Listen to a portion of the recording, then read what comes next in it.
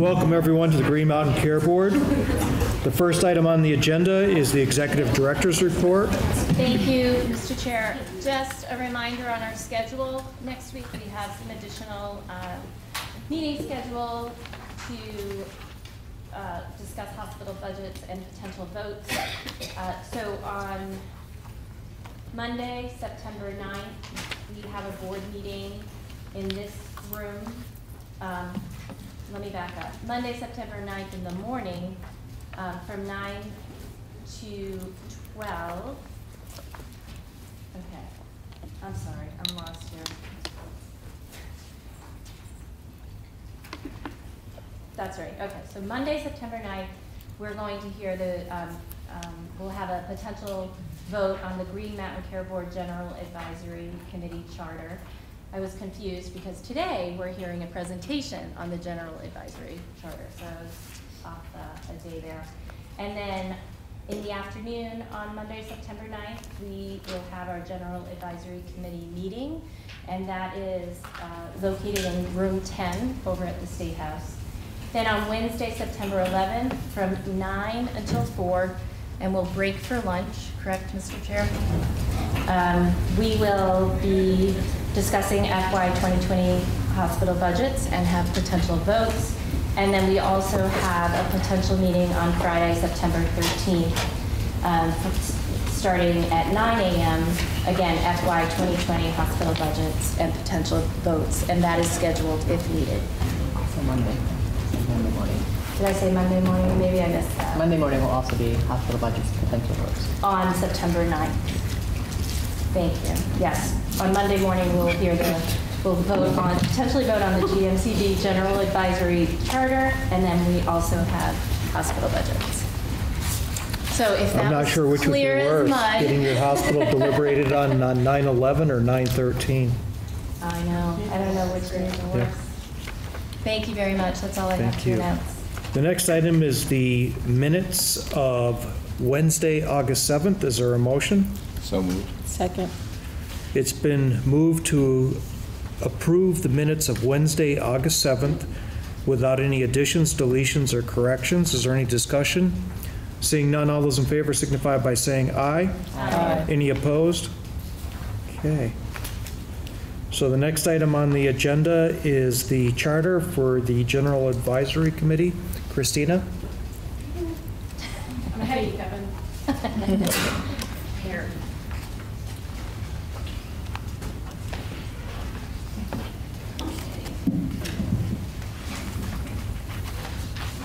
So I will try to be brief. Um, For the record, my name is Christina McLaughlin. I'm the Green Mountain Care Board Health Policy Analyst. So, um, as you noted, Susan, the, the board plans to vote on this potentially on September 9th. But before that, we want to outline the charter briefly for the public in case anyone would like to submit any public comment. Um, So, started? So I will go over the process of how we ended up at this draft version of the GMCB General Advisory Committee Charter. Um, The board had launched back in December 2018 a um, redesign of the committee. Um, And during that redesign, we decided to have a- an application that included a questionnaire. And within that questionnaire, so that people knew what they were signing up for, we had a draft um, charter information. Um, So when people applied and submitted their CV or resume, they knew what they were getting into. Um, So the um, draft committee charter was first shared during the application process, as noted, and um, between February until now, it's been revised with committee member suggestions. Uh, As noted, it's, we, um, the committee discussed the charter in February and May. These meetings are open to the public, so I do know there were some members of the public there, and um, as I can recall, there were some comments and um, questions about it. And really, at the end, the committee members asked to include health insurance rate review as a general topic that they may potentially advise the board on. So we, as the board, do not need to have a charter for this group. but we felt that it was important for people to know uh, the purpose and what the scope of the GMCB advisory committee um, is and why it exists. So in Act 48 of 2011, the board, was deemed that the board shall establish a commuter, com- sorry, consumer, patient, business, and healthcare professional advisory group to provide input and recommendations to the board. Um, within the charter, we decided that um, the board may seek input, advice, or recommendations from one or more participants relating to regulation matters within the participant expertise to help inform its duties outlined in 18 VSA subsection 9375 or to advise the board on a report required by the General Assembly or other matter of interest. Um, more specifically, we decided to list some topics which may include workforce education, price transparency, population health, the all-payer model, the accountable care organization, and health insurance rate review. But of course, we are not limited to those topics. If they, um, if one or more members decide to submit comment or advise the board on another topic, they may do so at any time. So, also outlined in the charter is um, some committee chairs and officers. We felt uh, that the executive director of the Green Mountain Care Board would be a great committee chair for this group. And in order to comply with open meeting law, the committee will consist of subgroups, mainly so that when they decide uh, to correspond over email or outside of the set meeting times, they can do so without violating open meeting law. Uh, So right now, we have 21 active members in our committee, so we decided to have three subgroups of seven people.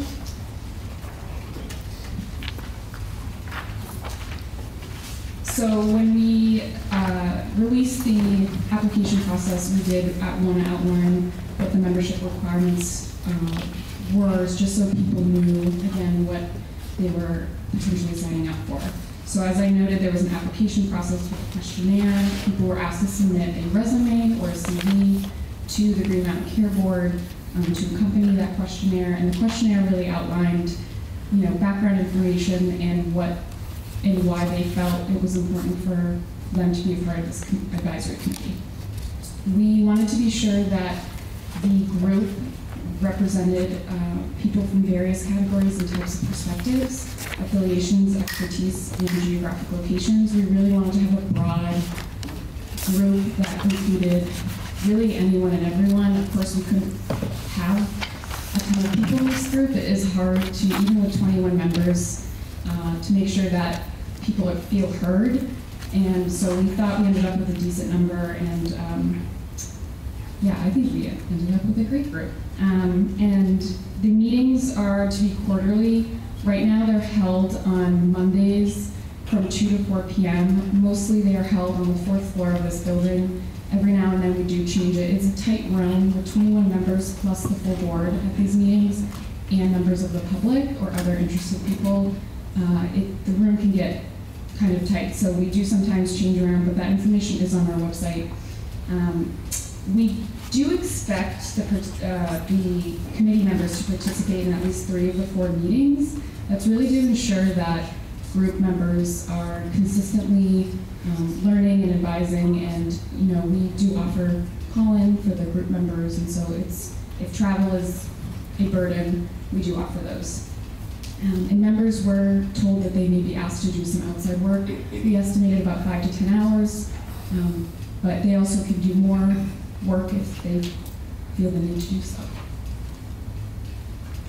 So I included this slide to be sure that um, members of the public and anyone else can um, find our General Advisory Committee site page very easily. That green um, wording and underlined words are uh, links right to our GMCB General Advisory Committee page.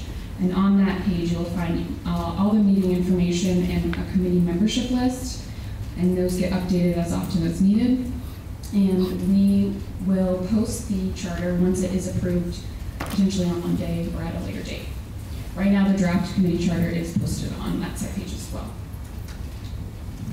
So finally, we recommend that the board approve the latest version of the draft General Advisory Committee Charter. This version is dated August 2019. It is the version that was posted and is printed out um, for all of you today.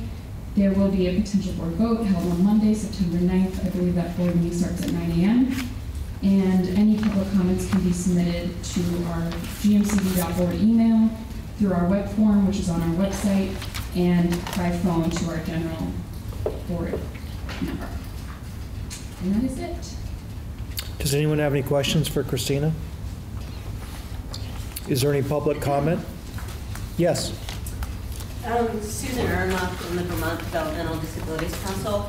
We will be following up with um, written comments. So first of all, great uh, thanks and appreciation to the staff for developing these materials and for posting them. It's a great improvement from the time when the Green Mountain Care Board ceased to have its advisory council meet at all, or maybe it met once a year for a couple of years. Despite the fact that at its start, it was a robust body and it met quarterly. I don't think that the charter as presented meets the goals of the legislation uh, much at all, a little bit.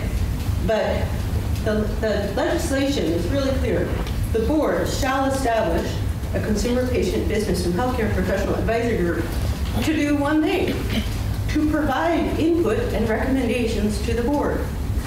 The body, the, the advisory group provides the input and recommendations to the board. The way this is structured, the board may at any time ask members of this body that it is handpicked for their opinion on things. But the way the charter is structured does not accomplish the goal of the law, which is to have a body, an ongoing body, give you recommendations. And to date, despite this having been created in 2011, the consumer patient advisory group has never given the Green Mountain Care Board a single recommendation on a single topic. So I think that for that to change, the charter needs to be changed, and it needs to be clear that before the Green Mountain Care Board does something big, like send a letter to the governor and the Agency of Human Services saying, give us more Medicaid money for this project. Maybe they get input from their advisory board on a topic like that.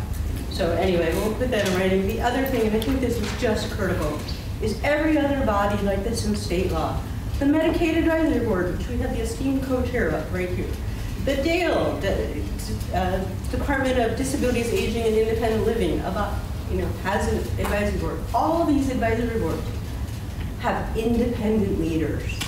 The leaders are not staff of the organization. The leaders are elected independently by the other members of the advisory board. And then that group sets the agenda independently. So I think that this is a, a step forward, but it needs to go further. The Green Mountain Care Board clearly needs an independent advisory board. So I will put those in writing. Thank you, and thank you for moving this forward as you've been moving it forward. Having four meetings this year is a great uh, change in how business had been before that. So good progress. Well, we had four meetings last year, too.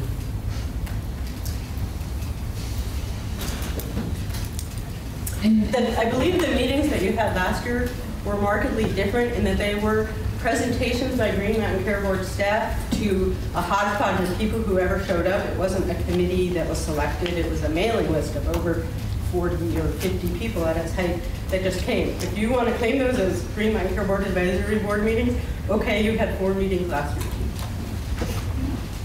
And if I may add, thank you, Susan. Um, we have found that uh, people, for them to advise the board, they struggle to do so because they ask to know more information about what the board's duties are statutorily. And I think, you know, you're right to a certain extent. Last year, it was a lot of presentations, but that was asked by the committee members were to provide information so they could advise us on it. And I think right now we're trying to find that happy medium of them feeling comfortable enough to advise us because it is a very broad scope of individuals who are on this group and we want to make sure that everyone feels comfortable bringing their suggestions and recommendations to the board. And I do know that um, just the other day, someone asked, you know, how can I provide recommendations? And I, we've said this at both of the recent meetings, and we'll continue to say it. People can really provide information on anything at any time, and I'm you know, I'm on the other side of these, this correspondence when people ask me and I follow up with the information they need and I, so this is an ongoing learning informational process.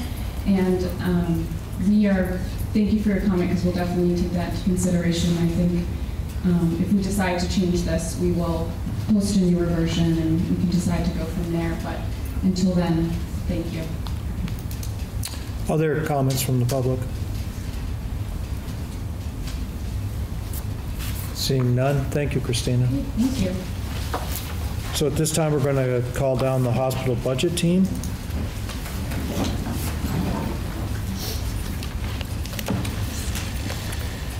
And while they're getting uh, organized, I just want to um, say a few words that uh, this, this will be my third year of deliberating on hospital budgets. And one of the things that um, has struck me for the last two years is how messy it can look at the beginning of these discussions. And that is because um, of the open meeting law, we cannot have discussions between board members in advance. And so, um, as messy as it may look, this is the way the process was designed. And it's designed to, to have full transparency. And um, with that full transparency, at times, things could look a little bit sloppy, but I think you have to uh, really wait till the board has a chance to start to coalesce after getting feedback from each and every one of the members and starts moving towards the decision-making process. And so, um, I know, Jeff, if you had more hair on your head, you'd have less after today, but hopefully in a couple weeks, everything will be good. Thanks for the warning. And with that, I'll turn it over to Patrick. Thank you, Mr. Chair. We are um, going to be set up in one second here with our slide deck.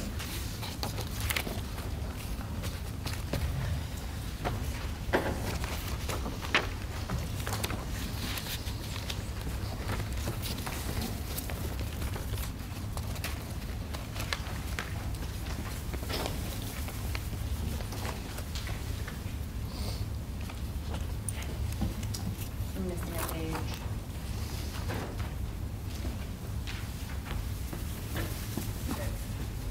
Thank you, Green Mountain Care Board and members of the public. Welcome to day one of the deliberations. Um, My name is Patrick Rooney. I am the Director of Health Systems Finances. To my left is Lauren Perry, and to my right is Agatha Kessler, uh, who have helped compose all the information you see today.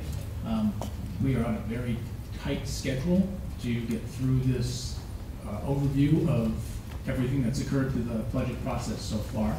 Um, Our plans to end this around two o'clock, move through this process, or before, so we can give time for the board to um, have questions and, and discuss uh, what it is we've gone over this afternoon. Uh, Just a word of note that um, as we go through each hospital, there is a slide on uh, the accountable care organization as it applies to the hospital. This is more of an FYI for everyone as to where they stand, what their future plans are for participation um, if it applies to that hospital. So we'll say that this one time, and if you see us moving past it, tha- that's why. So to begin, uh, today, September 4th, we will be reviewing hospitals with those four bullet points right there in that order. Um, Beginning with compliant hospitals, moving to provider transfers and accounting adjustments, hospitals that were not compliant with budget orders, and then the network itself, based on its size. Next week, um, we will continue discussion and voting. And at the bottom here, we have the public comment that was posted last week to our website, just to recap that.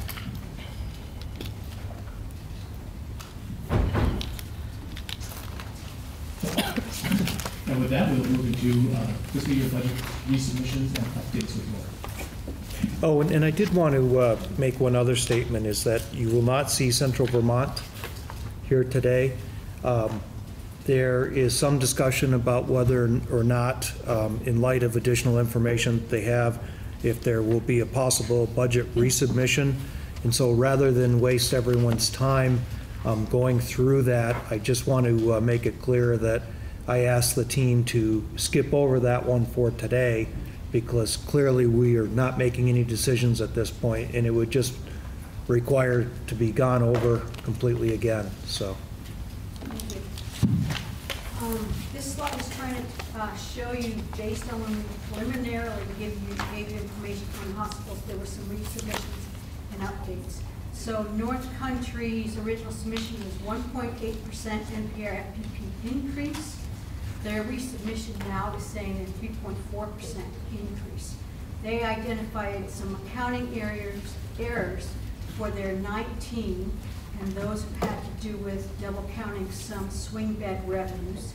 And then they also noticed that they didn't include some capitation and incentive income in their FY20 NPR FPP.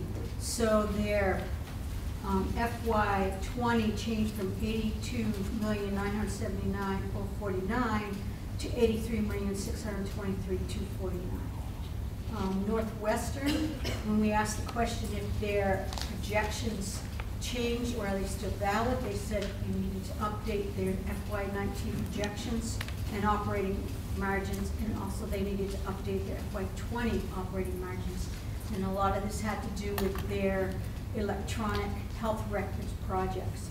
So they had reductions in the NPR and days cash on hand, um, also due to utilization problems with the EHR.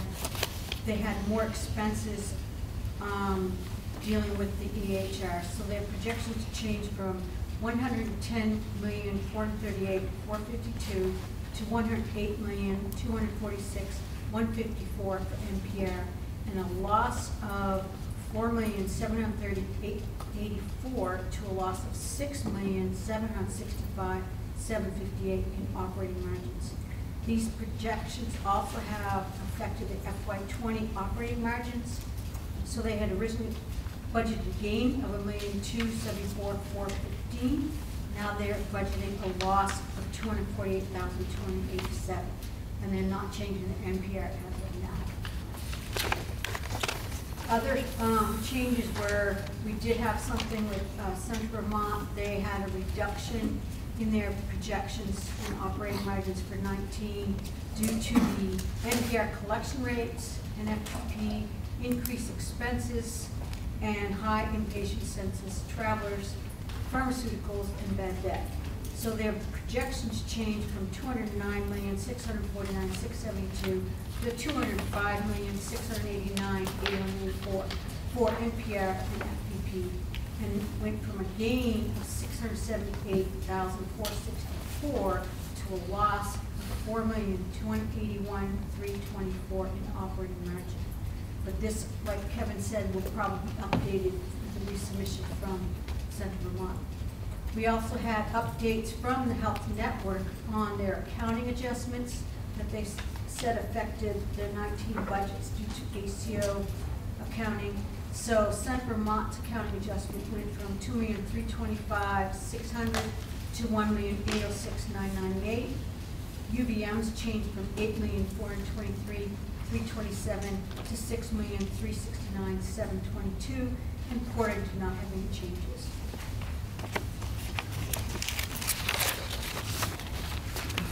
So as we move through this process, these are some of the considerations that we wanted to point out to the Green Mountain Care Board as far as items that uh, we feel need to be considered as you look at each one of these hospitals.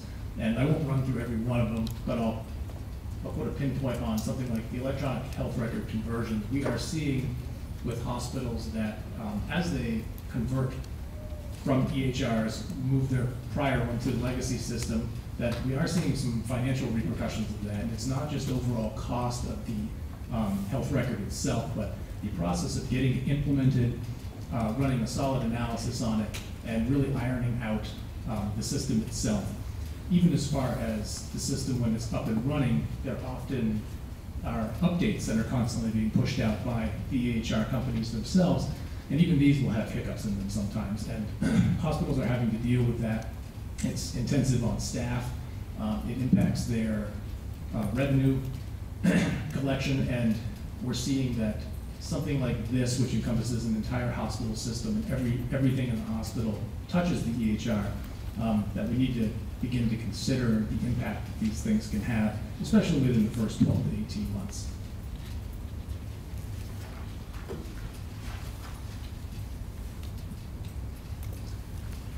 Additional considerations that came along were um, cost savings initiatives being put forth by the hospitals, delivery system reform, leadership turnover. We've seen quite a bit of that in the state, at top-tier leadership, uh, which can certainly impact um, hospital's performance.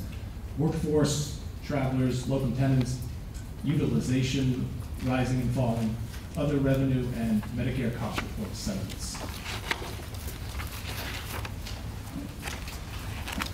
this is a chart that um, looks familiar in terms of the format, and it's showing the NPRFPP um, dollar value as submitted. But again, um, to Lori's previous statement, this, there was resubmitted information. So this chart, I just flipped the screens, and I think this time the blue cells are appearing on the screen. The blue cells are, um, indicate when a hospital budget's resubmission affected their projection or their budget. And this next slide is a slide, again, um, kind of our standard format of which hospitals are compliant and which are not. Um, it's showing the original submission, the resubmission, and budget to projection variance. Um, this is important for compliance with the, with the first term of the budget guidance, which is for those hospitals that are underperforming, they, they'd be met with a five percent cap. Um, and then this section over here is the budget to budget percentage change, um, showing the resubmission, any, any hospitals like North Country that it was affected by the resubmission. The last column is if the board approved every provider transfer and accounting adjustment that came across your table in the deliberation process, that's the number you would see. So that, this last column is, um, subject to board approval, and, and we have recommendations for those. Um, this is just a summary slide of the hospitals that have requested an adjustment, um, adjustment. You've seen this in the preliminary report. But what I wanted to call out on here is that we're making reference to what we call the FY nineteen effective budget in a couple spots in this report. This is when a hospital identified an issue or a change in their FY nineteen budget.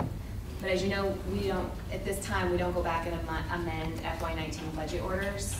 Um, but in order to have an apples to apples comparison of how the hospital was accounting in FY nineteen and have it be the same as as they're counting in FY twenty, we've created a, an effective FY nineteen budget, um, so that you can see that. North Country is a great example because that's six hundred and twenty thousand dollars of double swing bed revenue affected FY nineteen, so we'll show you an, an effective nineteen budget.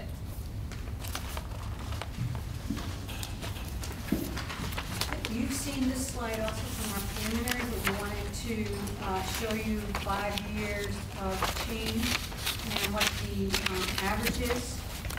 We also are showing you how the hospital submitted their 2020 budget. So This is all on one chart, so for your records.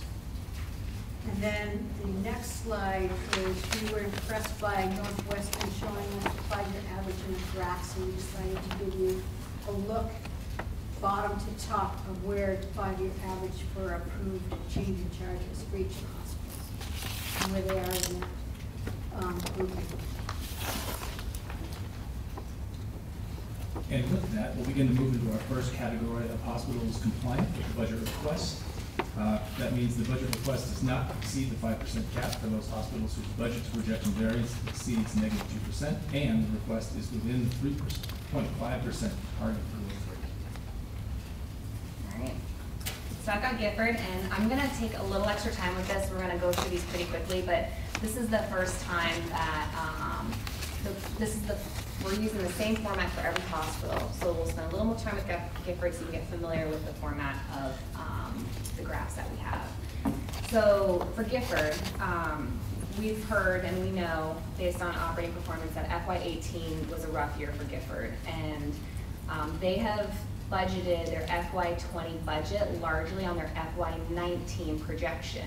So for Gifford, you'll see, um, in blue text, FY, tw- do the pointer? I'm a big fan of the pointer. Um, FY twenty over the FY nineteen projection is two point two percent. So that's their actual operating performance, and that's a, a reasonable growth rate. Um, they have certain utilization assumptions that get them to their, to their growth rate. Um, they have an EM, they're getting over an EMR, um, implementation. It's one to two years in progress, and so the providers are getting more and more up to speed. They're seeing a, a slight increase in their utilization due to that. Um, but however, their general surgery is not quite up to where they had originally expected. So overall utilization is going down.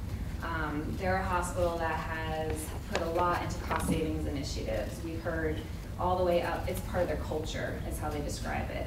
Um, and ultimately, what they're asking for is a change in charge to support their positive operating margin. Um, so you'll see this format throughout where we give the highlights of the, the budget, um, their change in charge, and then this area is what we heard as staff, the hospital using as justification. These first hospitals that you hear us talk about are compliant, so their justification is important, um, but it becomes even more important when we get to the hospitals that were not compliant, the budget guidance specifically states that they must justify their request. So this next chart um, shows, and every hospital has this, uh, how the hospital was doing in FY19. So for Gifford, they have pretty consistent growth in each quarter. Twenty-seven percent in the fourth quarter was something we asked about. Um, that seems like a lot for fourth quarter great growth. Gifford stands by their projections and are confident that they can achieve this in the fourth quarter. And it's important for us to be confident in their projection because we base our FY20 analysis um, in part on their projection. So um, Gifford did not update their projections, and this lower graph is just tracking their operating margin on a quarterly basis as well.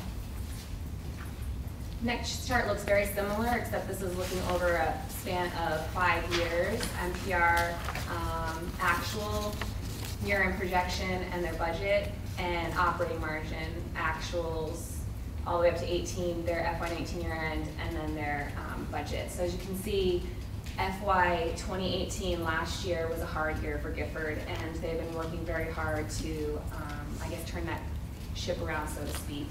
And then down here we have some, um, these are some of the financial indicators that we look at, at as staff and the board looks at as the days cash on hand and uh, age of plant. I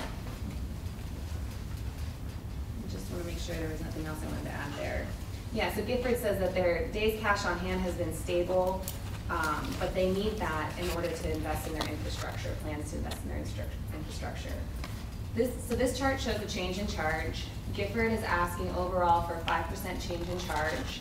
We've calculated for each hospital the NPR that's attributable to the change in charge. So in Gifford's case, it's 2.2 million.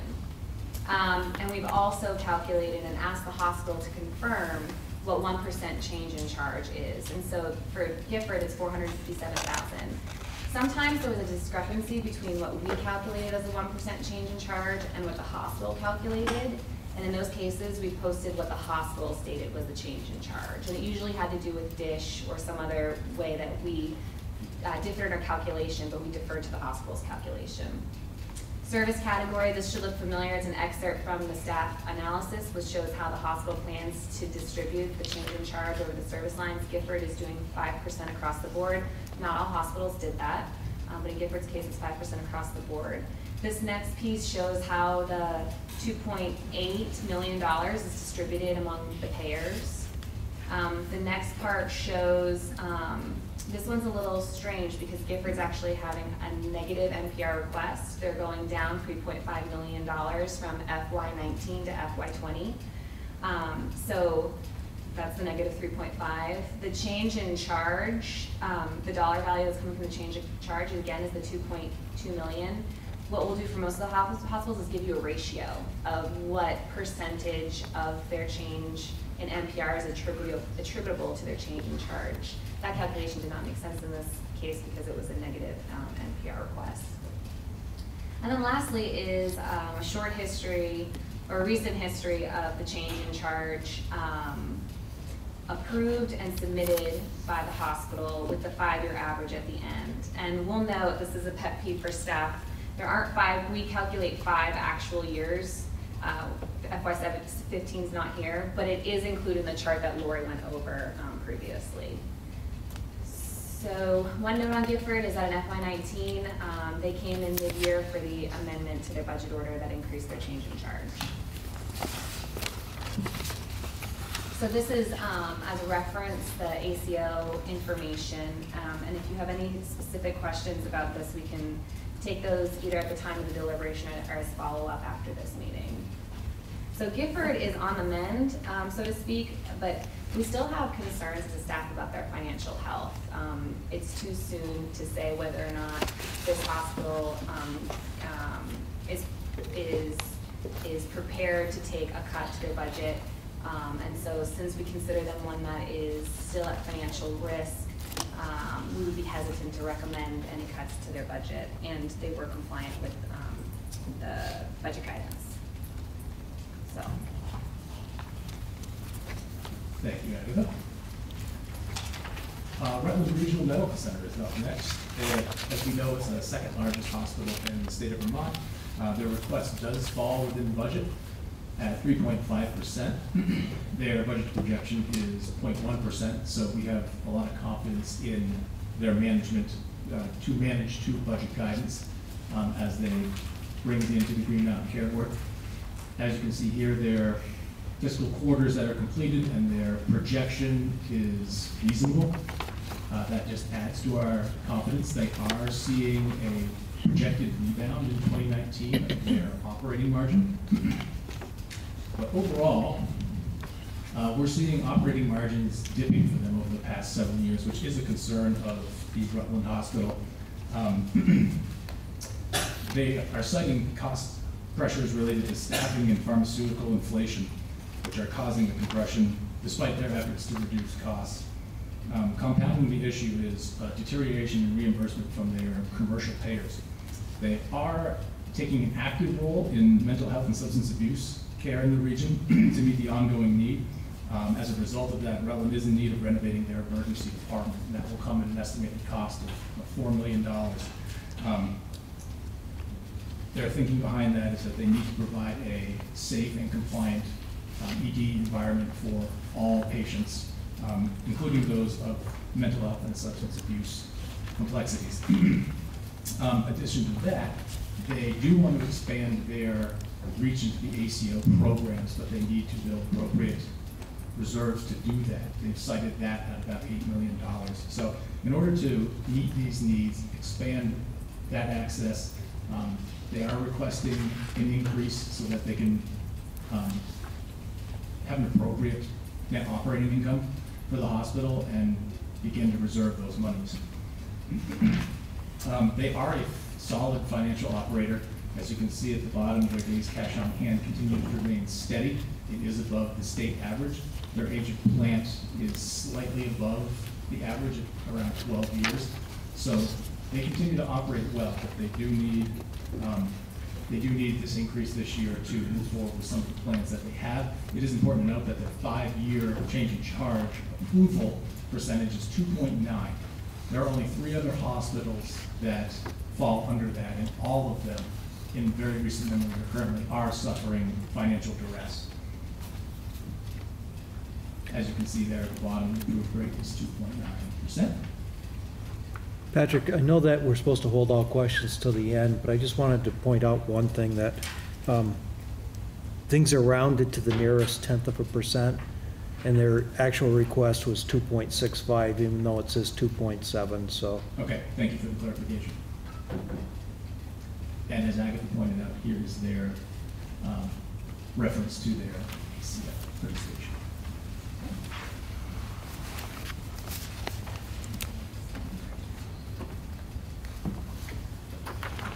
Springfield came to see you last week, and um, they are showing a budget projection variance of a negative negative nineteen point seven percent. And a, their request from their nineteen budget is nineteen point two percent negative. They are in financial straits, as everybody seems to know. They have filed chapter eleven as of June twenty-sixth. And this process can take them six to twelve months to get through, if not longer. And they're planning to restruct, they would like to restructure with other partners.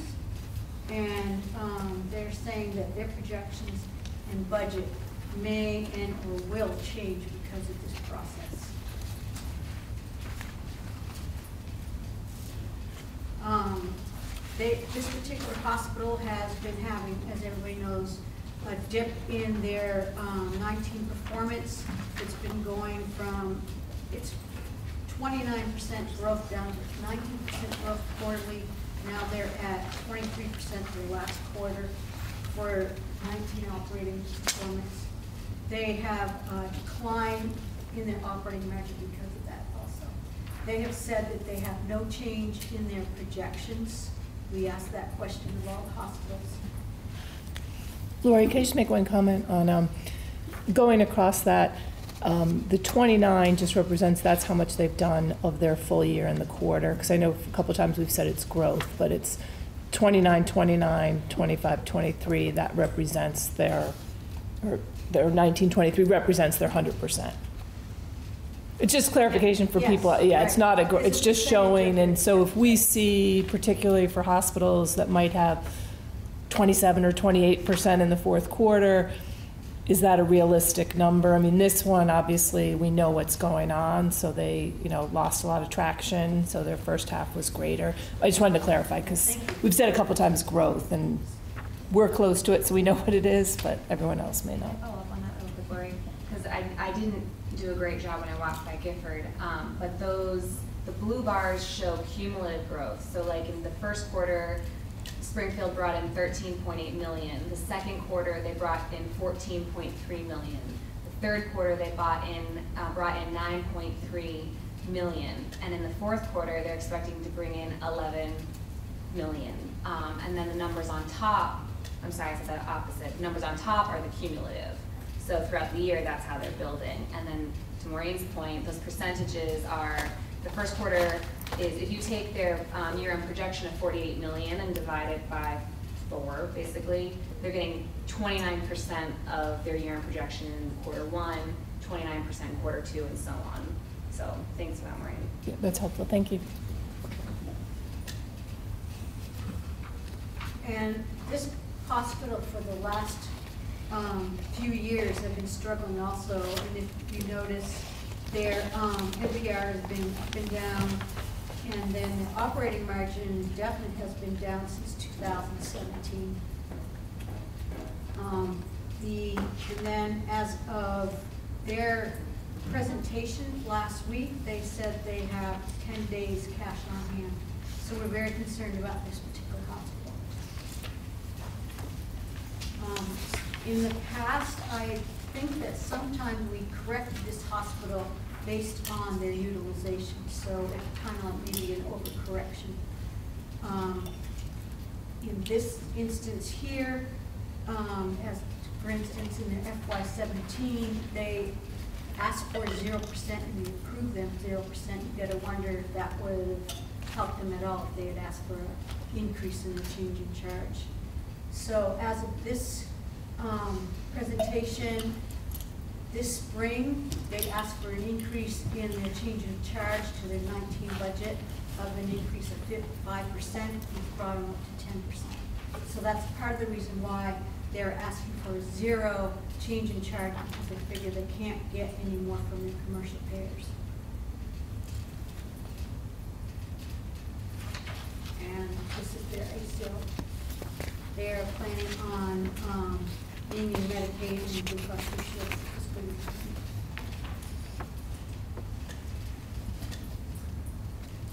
Thank you, Lori. The next category of hospitals deals with provider transfer and accounting adjustment requests. Hospitals requesting adjustments for provider transfers, accounting and ACO accounting adjustments, and we touched on a little bit of that to start. I'm back. So North Country Hospital, they um, originally came to us with their submission eight percent from the previous budget, but they reviewed that after we sent them some questions, and they said, oh, we should be a three point four percent change budget to budget.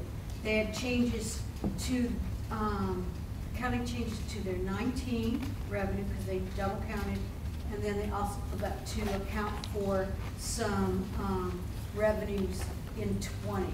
So we're, if you agree, we will hopefully approve them for a three point four percent change. This hospital is recovering from their EHR conversion with Athena Health.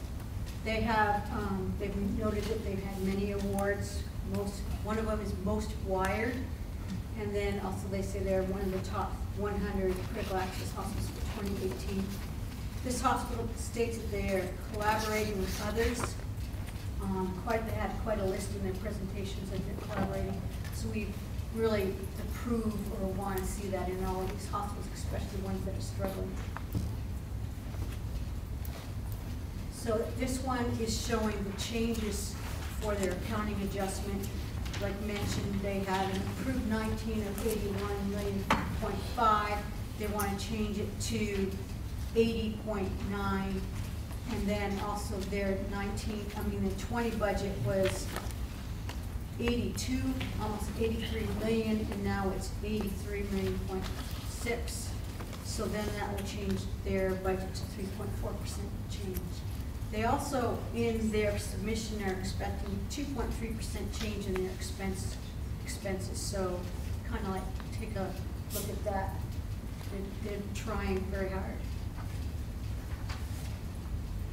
In this particular slide, we're showing that for fiscal year nineteen, they seem to be steady growth in their NPR. And then they've had that slow dip in operating margin, and then they've improved through the year for their operating margin. And they have said that there was no change to their projections for uh, fiscal year nineteen, when we asked that question. In um, the last few years, they've been, like a few of the other hospitals, struggling. This particular hospital had operating margins back in nineteen, in twenty seventeen of a negative one point nine million, and then in eighteen, another one point nine million negative operating margins, and they're slowly recovering. And they're expected to recover in nineteen and into twenty. This hospital also has a good days cash on hand. We've been noting they've been paying their bills on time and everything like that.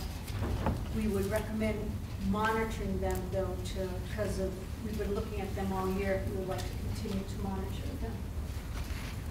At least that's what staff's thinking. Um, this particular slide is also showing where they wanted four point two percent change in charge. They're applying five percent of that to their hospital inpatient and outpatient, and nothing to their physician outpatient. The, um, change in charge is ninety-seven percent of their change in NPR.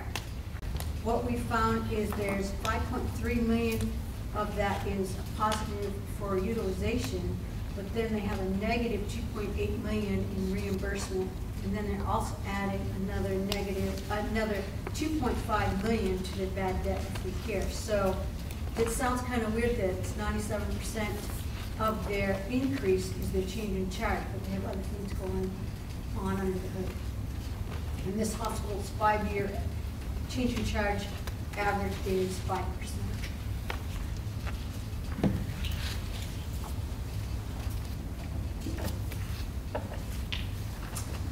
Uh, Northwestern Medical Center. They, their budget projection variance triggers five percent cap. As you can see, it falls below negative two percent.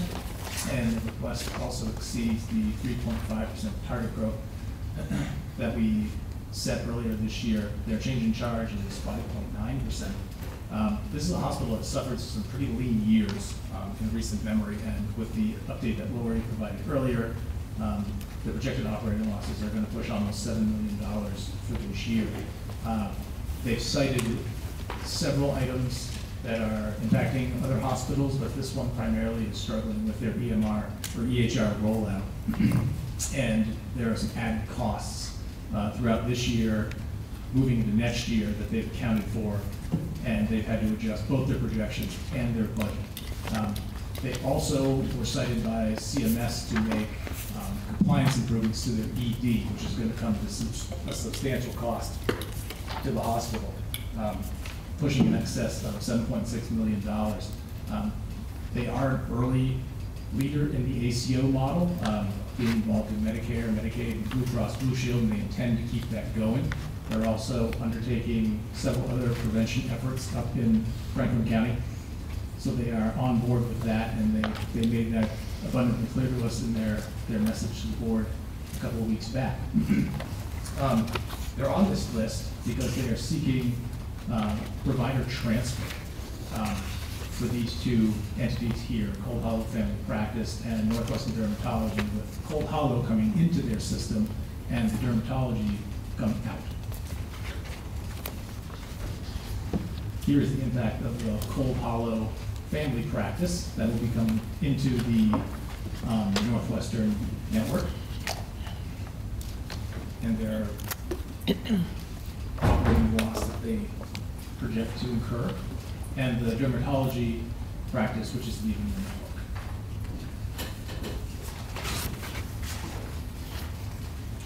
As you can see, to recap here, they are having a rough year, um, and up until about a month ago, they were anticipating on hitting um, several income markers, but due to recent events with the EHR rollout, as I discussed, they, they don't plan to to hit any of those marks moving forward through the rest of this year, and have readjusted their budget to actually budget for a loss moving into fiscal year twenty.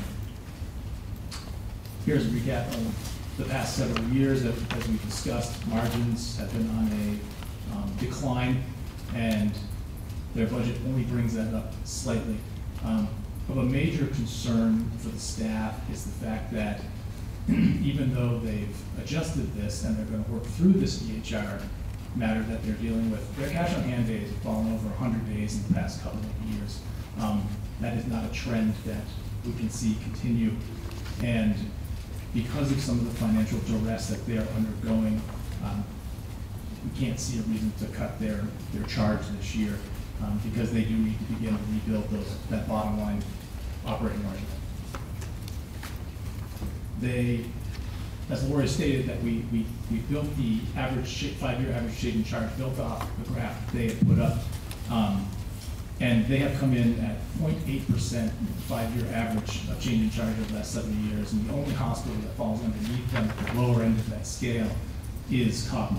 So a lot of this is, um, making up for corrective measures that were put in place several years ago.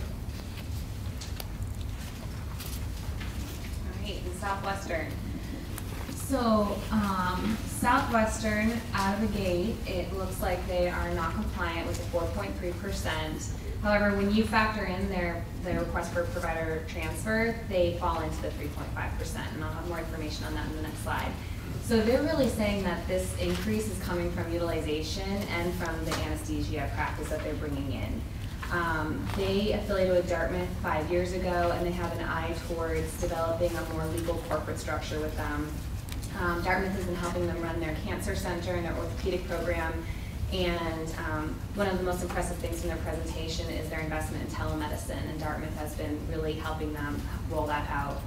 Um, in terms of utilization, they're bringing on two new orthopedic practitioners. They came on board in 2019. This is driving up outpatient surgical services. Their oncology services are increasing, and that's one of the services that they're um, partnering with Dartmouth. Dartmouth has, has helped them identify lots of opportunities in their oncology department. And as the, the CEO when he was here was talking about keeping patients close to home. As many um, oncology patients as they have, they can keep close to home. That's a good thing for the patient, that's a good thing for the community and for the hospital. Um, they said their endoscopy levels are up, their staffing levels are where they want them to be, so they're expecting volume increases this year. And they have a neurologist who's coming on board and is expecting this will increase utilization. Um, um, and they referenced the neurologist would impact MRI and CAT scan volumes. So they're really counting on um, these being everyone doesn't want to say fully staffed, but having their staffing levels up at a place where they're, they can start to see the increases in the utilization. Um, they're asking for a two point eight percent change in charge. So this is their provider transfer request. Um, they are bringing on an anesthesia practice starting January first. So this anesthesia practice was independent in the community and, um, the hospital had an agreement with them.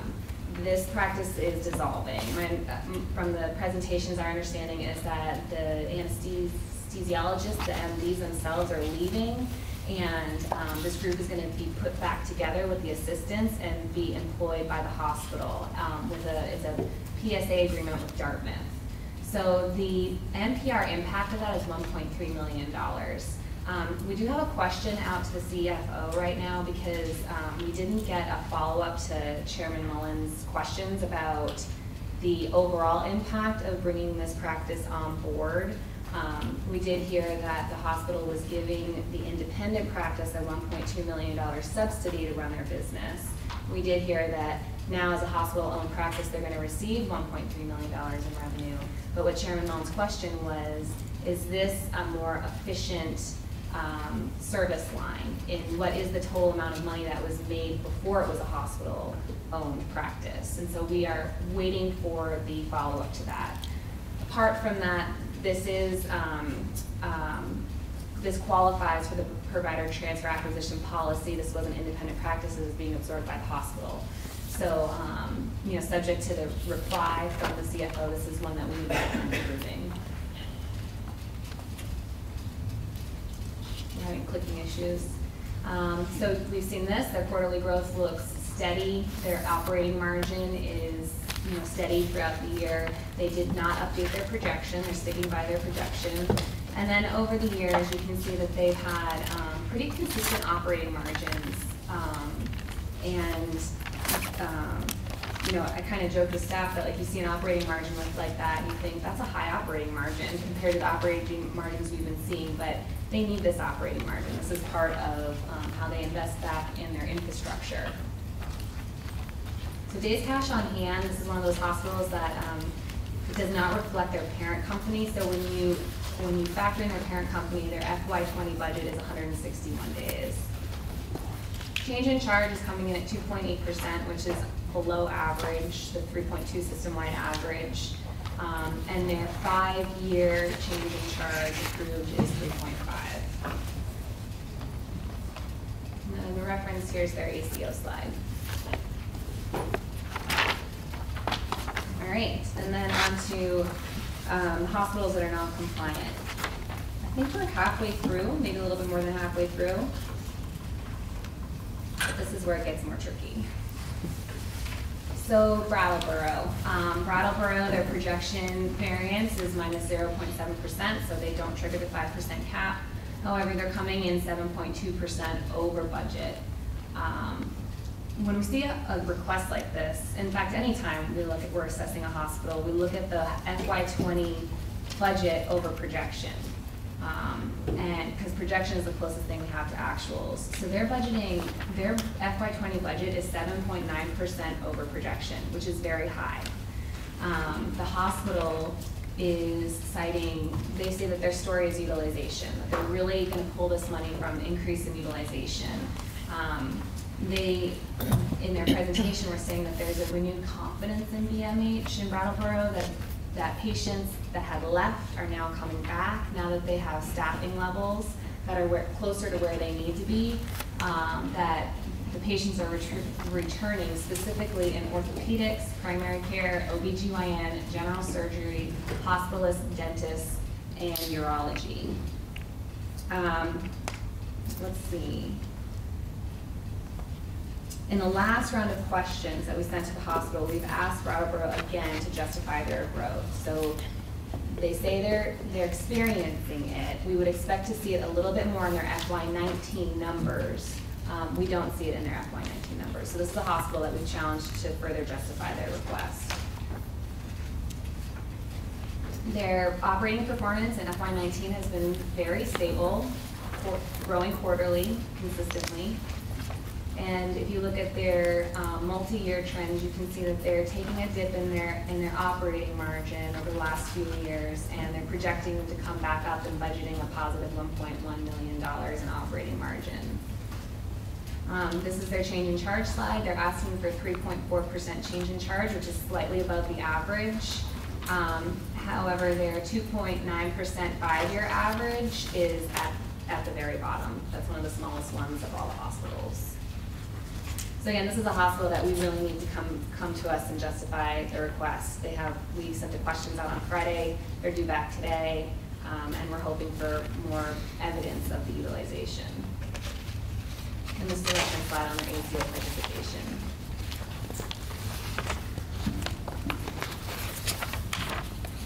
Copley is another hospital that we are concerned about their financial health.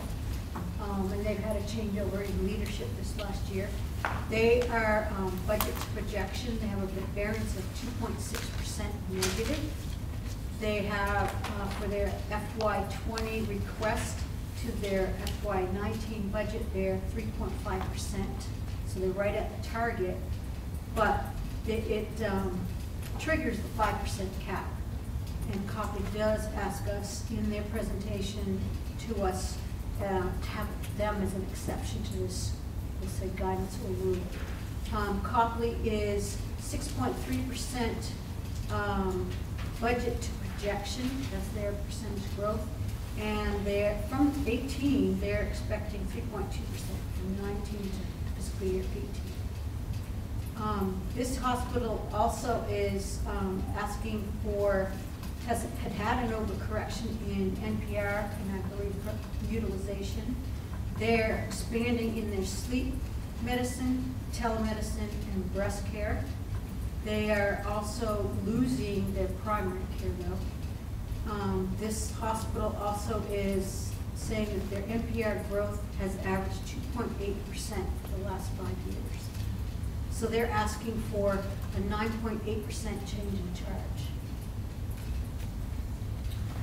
Copley has, um, had some, they're, tr- they're trying to recover in nineteen. It's not huge swings in their quarters for nineteen, but their operating margins have done a lot of, um, dips due to their expenses and everything. So for their projection, they're, um, a loss of one point three million dollars for nineteen, and they'd like to budget a million dollar gain for their operating margin for twenty. They said there was no change in their FY nineteen projection, we asked that question staff.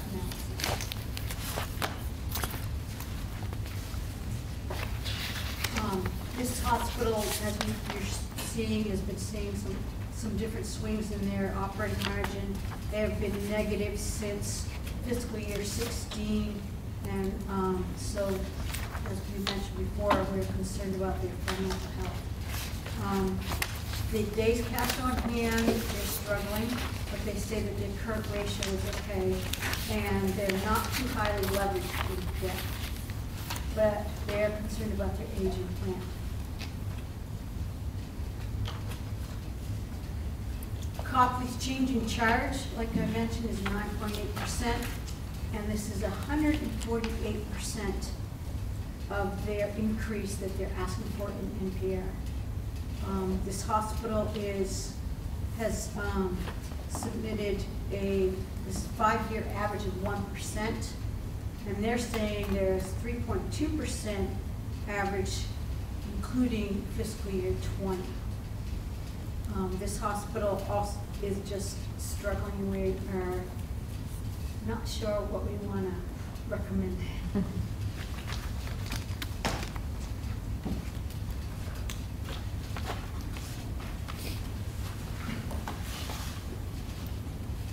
Northeastern Hospital has been a financially stable hospital in one of the most impoverished geographic regions in the state of Vermont, and they, they continue to um, put up solid margins, operating margins at the end of each year. Um, They're kind of in the opposite scenario as Brattleboro, which Agatha just discussed. Their budget projection variance, their budget projection variance, as opposed to Brattleboro's, is up. They're requesting the same amount as Brattleboro at seven point two percent, which triggers the, um, exceeds the three point five percent cap that was set. But utilization volume is driving, um, their numbers here and their budget request. And they have a trend of that. They're citing, um, improved confidence in the region with their services. They're also citing a flow from New Hampshire of, of, of patients. And so their, their numbers are booming, and their average daily census has increased as well. Um, they're having to increase their staffing levels to meet up with some of these um, new demands on them. And the long-term goal is, is to expand their emergency department, which they've cited as being too small for the current um, patient load that they're dealing with and other healthcare needs. So they are requesting a, a high change. um, But we're also seeing over time, with the revenue growth going up and up and up, that their um, operating margin stays relatively flat, which leads us to conclude that there are potentially more cost containment measures that could be undertaken by the hospital. Um, So we're leading in the direction of um, a quarterly report to show us what cost containment efforts they're putting forth, what the result of that is, and uh, potentially reducing the requests. So overall, however, um, their age of plant is right in line, and their days cash on hand have remained relatively stable. Um, they are active in the ACO under the Medicaid model, and they are actively exploring other um, community health initiatives in the northeastern part of the state. Their average change in charge over the last five years is 4%, which puts them right around the middle of the pack. and this year it's coming in um, at 3.5. Mount Montescutney. So Mount Ascutney is located in the southern part of the state and it has two critical access hospitals very close by. Um, they are requesting a 7.4% increase over their FY19 budget. Um, when we look at that request compared to projection at 6.5, so, so high, this is high. Um, their, their support is they're expecting increases in utilization. Um, they identified kind of two specific areas where that utilization is coming from, which is Springfield and New Hampshire. Um, We can see it in what they've submitted to us, but we, they're also a hospital we've sent a follow-up question to because we need further justification. Um, They've been experiencing the Springfield volume and the New Hampshire for a shorter period of time, but they've been experiencing that New Hampshire volume for a longer period of time, and we would expect to see that more in their FY nineteen operating performance. Um, They're saying that their staffing levels are up, and they credit partially um, this to the instability in the region, that they're a stable employer, and so they're able to attract employees that way. Uh, They plan to bring on even more primary care patients into the hospital. um, And they said, I believe it was in their hos, their budget presentation, that there's at least a thousand patients out there that don't yet have a primary care, they're not assigned to a primary care physician, so they are planning to bring um, those patients in. So, um, one of the things we heard at the, this is related to their reserves, um, is, because again, this number here, the seven point four percent, is partially masking a, a reserve, an ACO reserve that they've made. Um, what we heard at the hearing, I believe, is that there was some interest in the board further discussing, um, reserves in general, and maybe with some specificity to Mount Ascutney. Um, not here right now, but at some point during the deliberation process. So I just want to flag that to you, that's something staff heard, and I believe we might have some staff resources, outside resources that can help with that conversation. I really wanted Kevin to hear that, and he wasn't in the room. So, um, Maybe you should repeat it. Okay, rewind the tape. So, uh, at the hearings, we heard that Mount Ascutney's reserves for the ACO were something that the board wanted to further discuss during the deliberation. Not right now at this meeting, but at some point during the deliberation process. And I was sharing that we think that we have um, access to some resources that could help with that discussion, the board is interested in it. So their change in charge is three point two percent, and they're stating that they need that change in charge to support their operating margin, which is pretty typical. Um, it was a pretty consistent question throughout the hearings. What was the methodology for you to get to your change in charge? And they start with looking at each department and what their utilization expectations are, how much it's gonna cost to run the department for that year, and they pretty much back into their change, what their operating margin target is, and then they pretty much back into their change in charge based on that methodology. So um, quarterly, they're looking at, at a big fourth quarter here, twenty-seven percent. When we asked about that, they stood by that. They're not changing their projection. They feel confident that they can achieve that um, as a year-end number. And their operating margin is, you know, dipping on, in Q3, but expected to uh, get back up by the end of FY nineteen, but still at a negative four hundred thousand. Um, this is their historical look, so again, a swing in their operating margin. Um, now, they became affiliated with Dartmouth a few years ago, I can't, I don't have it written down in front of me, but that has impacted their NPR and their operating margin in a positive way. Their change in charge, um, as stated, is three point two percent. Their five-year average is four point three, which is about middle of the pack. And again, this is a reference slide for their ACO participation. And then to Grace. Grace uh, was with you last week um, with uh, Springfield Mount Ascutney, and Grace's um, 19 budget to projection variance is a negative 3.3%. They're requesting 8.7% um, for their 20 budget over their 19 budget, and their 20 request is 12.3% over their 19 projection. This hospital triggers the 5% cap, but their request is, um, and their request exceeds the 3.5% growth. This hospital is asking for a 3.2% change in charge. They are stating that they are having fully staffed um, primary care doctors and staff, and that that is uh, part of the reason why they're having increases in utilization. And as Agatha mentioned, their change in charge is supposed to support their operating margin. This hospital is expanding their rehab and their um, budgeting utilization in medical about a million dollars. This hospital does no surgery or elected procedures. Um, This is what was happening this last, ye- or this year for each quarter for Grace. It's been pretty consistent. They're expecting twenty-seven percent of their revenue in um, this last quarter. And they want to budget over twenty million uh, for fiscal year twenty. And then the operating margin for nineteen has been a little bit up and down, but it's still been negative throughout the year. They're also expecting a negative operating margin for twenty. They said that there was no change in their projections for nineteen when we asked for their staffing office. In the past years, um, this hospital has seen a lot of up and down with their, um, growth in NPR. And then they've also seen all across the board, negative operating margins. But this hospital has community foundation funds that's available to them, so their total margins are, are positive.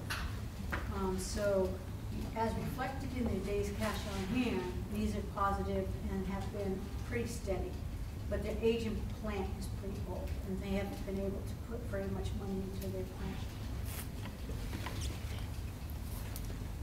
Grace is asking for three point two percent in their changing charge, and, um, they have an average, five-year average of four point six percent that we've approved in the last five years. They're planning on, um, applying their changing charge across their service categories the same amount, three point two percent across all their categories. And they are not participating in the ACO.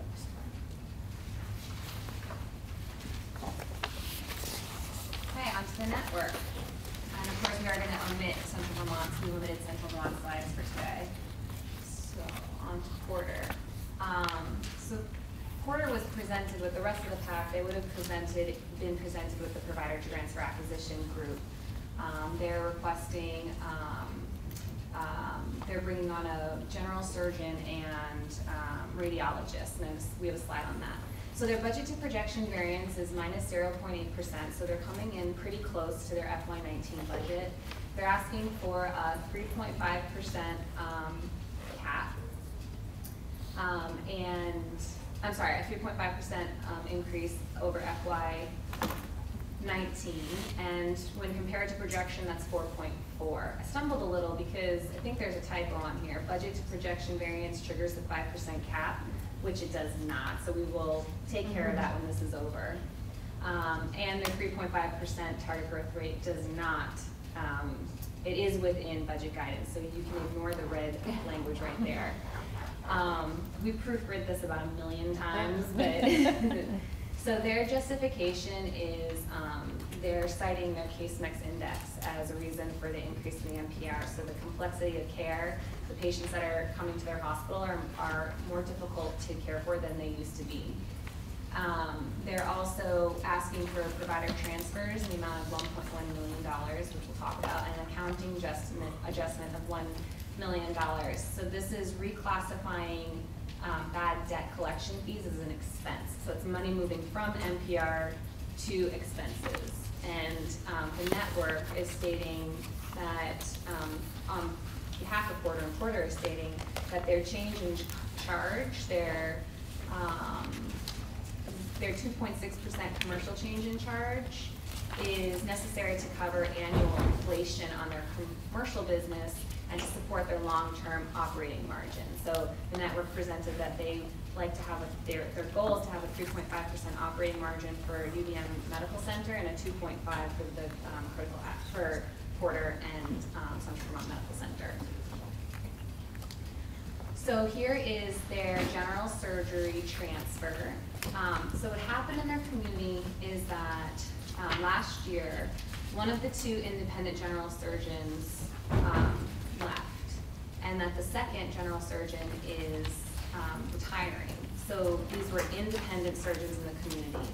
So the hospital, in order to fill that need, is going to hire that second independent general surgeon, uh, on a 0.75, almost a full-time, but still part-time basis.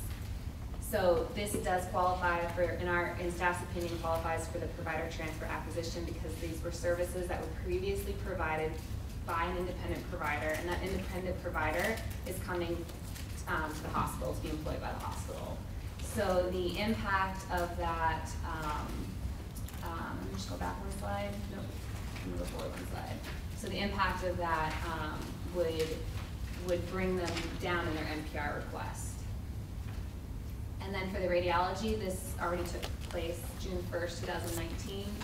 Um, Porter's had a long-standing relationship with an independent radiologist practice in, in the community, and that's no longer going to be the agreement. They're going to bring this practice on board and have it be hospital-owned.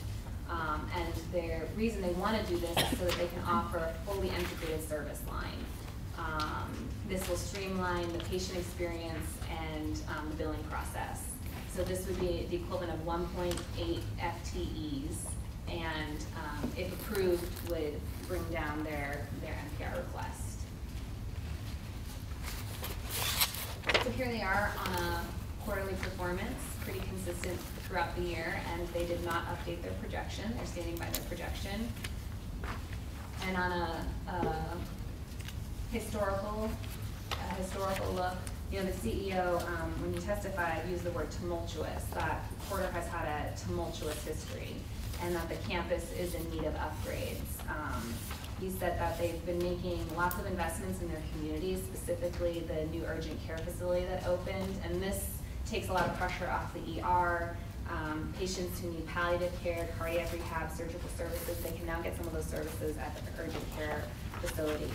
Um, they're integrating surgeons and radiologists into the work that they provide at the hospital to keep more people at home, so they can provide a, a fuller range of services um, in the Middlebury area. And part of that is the, the acquisition of the radiology, um, the radiology practice. So one of the things that we wanted to note with Porter is that they are going live with Epic um, later this year, and although they are, um, they've done a lot of training and a lot of buy-in from the staff, um, they, they have concerns about, as anybody would when they're about to implement an EHR, they're cautiously optimistic, and so are we. So we'd like to keep an eye on that and see what impact it has on their revenues and expenses moving forward. This is their change in charge. They're asking for, the network does things a little different with their change in charge. They submit the overall change in charge, which is zero percent, and then they submit a commercial rate, which is two point six. Um, so down below, we've, um, submitted, or we've calculated the five-year average that blends both their overall change in charge and their commercial charge, and their, um, five-year average is four point three percent. And this is the ACO summary slide.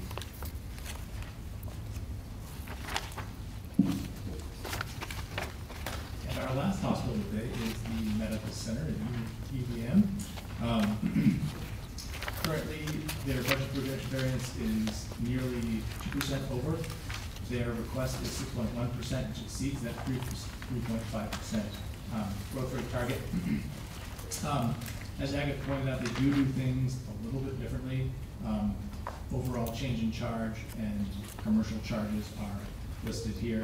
They are citing case mix index and unique patients as a new way of looking at, um, the need for the revenue growth. They are stating that they're seeing more patients, utilization volume, and also, um, sicker patients, and therefore require more resources to provide that care. Um, They are in this last batch, and they are asking for an accounting adjustment related to their ACO. Um, We'll have Agatha talk about that in just a second, but I'm going to continue on with the operating performance. Um, Revenues are projected in the year around one point three billion. Um, and bottom line, um, will come in around thirty-nine point four million dollars, um, which is a lot of money, but when you look at the historical trend of operating margin, it's a business that's seeing, um, reductions in that, in that bottom line revenue. Um, they are, have and are making some pretty major investments at the medical center and with network hospitals, as I spoke to the Epic implementation, which pushes the one hundred and fifty million dollar, um, milestone for, for outright costs. Um, And they stated their confidence in that system, but when go-live date comes, there's gonna be a lot of work to make sure that the information that is being passed through that system is accurate, and that includes financial information. Um, And so we're seeing a reduction in bottom line revenues, yet top line revenues, dollar for dollar, are on the increase. They still maintain a healthy balance sheet and healthy age of plant, but we are noting, um, these bottom line revenues are in decline.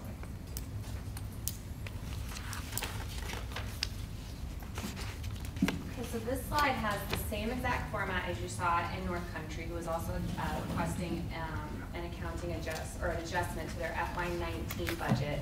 This is where that FY nineteen effective budget comes in. So, um, in their initial submission, UVM requested an eight point four million dollar adjustment um, for ACO payments, for reform investments related to the ACO.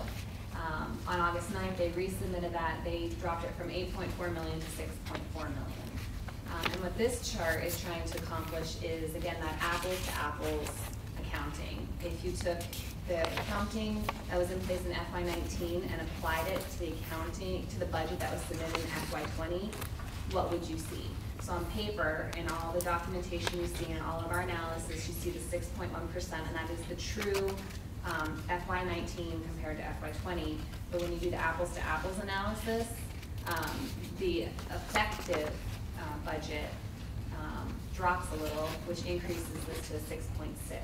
Now, before they resubmit on August 9th, you might have a six point eight number in your memory, and that, so that used to say six point eight, and now it's six point six. And then, um, oh. Back to you, Patrick. Back to you, Patrick. Thank you. Um, So summarizing, their overall change in charge, at three percent, commercial charges four percent. Um, Their service categories, they are going to reduce their professional services and shift the cost up to inpatient and outpatient. Uh, Their approved average around three point nine percent falls just below the median and, and has come in slightly under what they've submitted in years past. And then the second to last slide on UVM is something that when we walked away from the budget um, hearing in Middlebury and we debriefed as staff, we walked away hearing kind of three different ways of looking at the UVM budget. Um, And I'll- so we developed a slide to mock up those three different ways. Um, Before I even get into this, though, because it's going to, to, I'm going to talk about three different ways of looking at FY nineteen. Whatever decision the, the board makes in, in this deliberation, um, the growth will be based on FY nineteen that was approved and the FY twenty that's approved. So just kind of pointing that out as a, as a level set. So what we heard was that there's the sort of standard way of looking at the growth, which would be the six point one percent that we're seeing, which is looking at, um, their FY19, oops, I meant to laser point, their FY nineteen, um, submitted an approved budget. And at that time, they asked for a one point one percent increase over their FY eighteen budget. So this is, this is what happened, this is history. Um, so FY nineteen was approved at the one point two billion dollars. Um, that's one way that we heard board members looking at it. We heard another way, which is that, um, you know, UVM came in at one point one in FY nineteen. The tar, the maximum target growth rate that year was three point two. So we heard that that was a perspective that a board, that a board member or board members had. So we did the math on that. Um, and this right here is, had it been a three point two percent increase over their FY eighteen budget, they'd be looking at a one point three billion dollar budget in FY nineteen. And then kind of a third way of looking at it is, um, and this is similar to how we looked at Gifford, uh, is to look at their FY nineteen projection as the basis for analysis, because that is what mo- most closely represents actual operating performance. So we heard this as staff, and we took it kind of a, a step further, because we knew the question would be asked. What is the percentage growth using those three different, um, looks? And that's what this lower chart represents. So if you look at just kind of the basic, um, it's the six point one, that's if you use the FY nineteen budget that was approved. If you use the FY nineteen budget using that maximum three point two percent growth rate, you would see a four point six percent growth rate. And if you use the FY nineteen projection as the basis, you would see a four point one percent growth rate. So these are just different ways of looking at, um, the same data, but as a board of five members, you look at things differently, and we wanted to provide a tool for you to, um, to talk about that or think about that.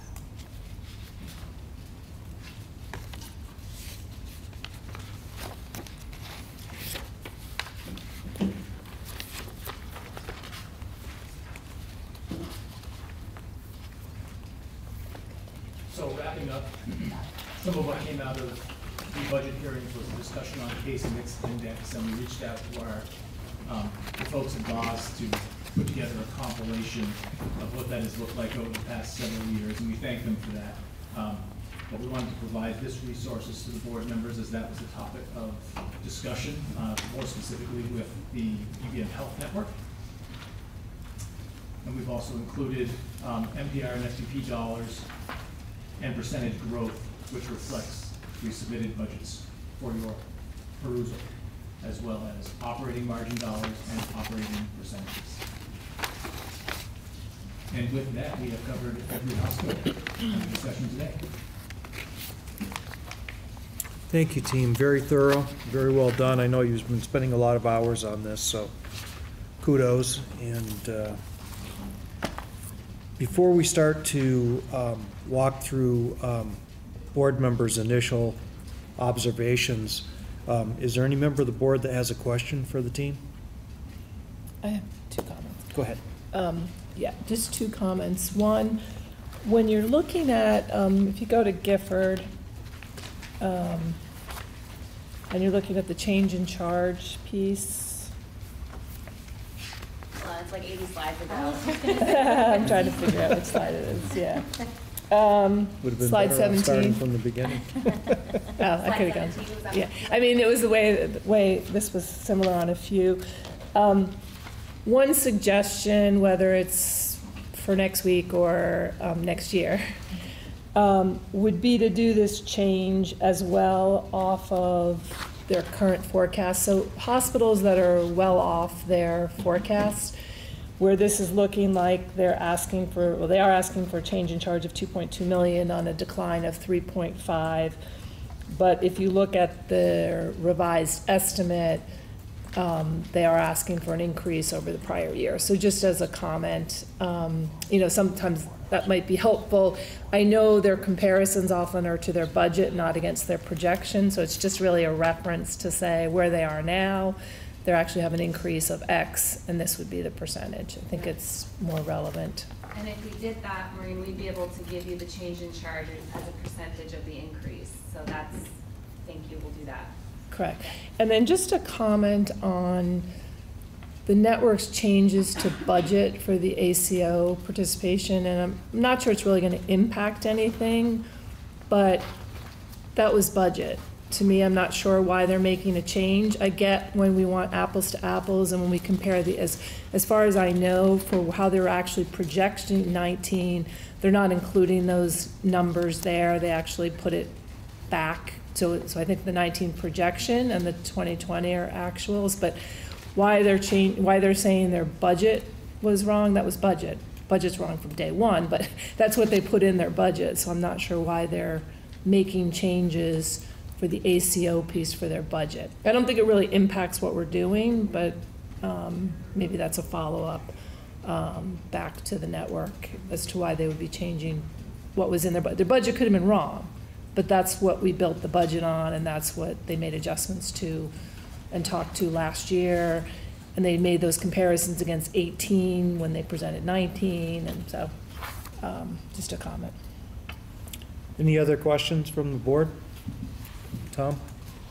Uh, Just a couple of clarification things, I think. Um, Number one is, just to be, I- I think I'm clear on it, but just to make sure, um, the change in charge chart that uh, looks at the five-year trend, the five-year average, um, pick any hospital, that's not a compounded average growth rate, that's just a mathematical average over those five-year period? Correct. Okay. Um, Looking at um, the uh, Brattleboro presentation, I think on page, me get there.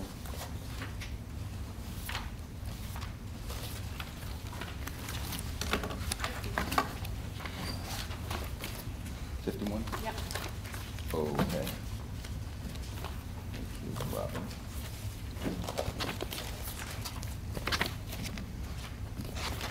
So um, I remember during the discussion, and my guess is the transcript would bear it out, is that um, the relationship of Springfield and uh, Brattleboro Memorial Hospital was in some significant change in terms of pediatrics and some other services.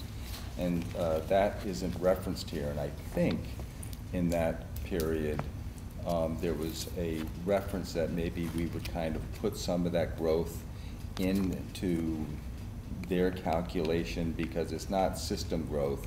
It's, uh, it's just, it's, it's moving money around, with- around within the system.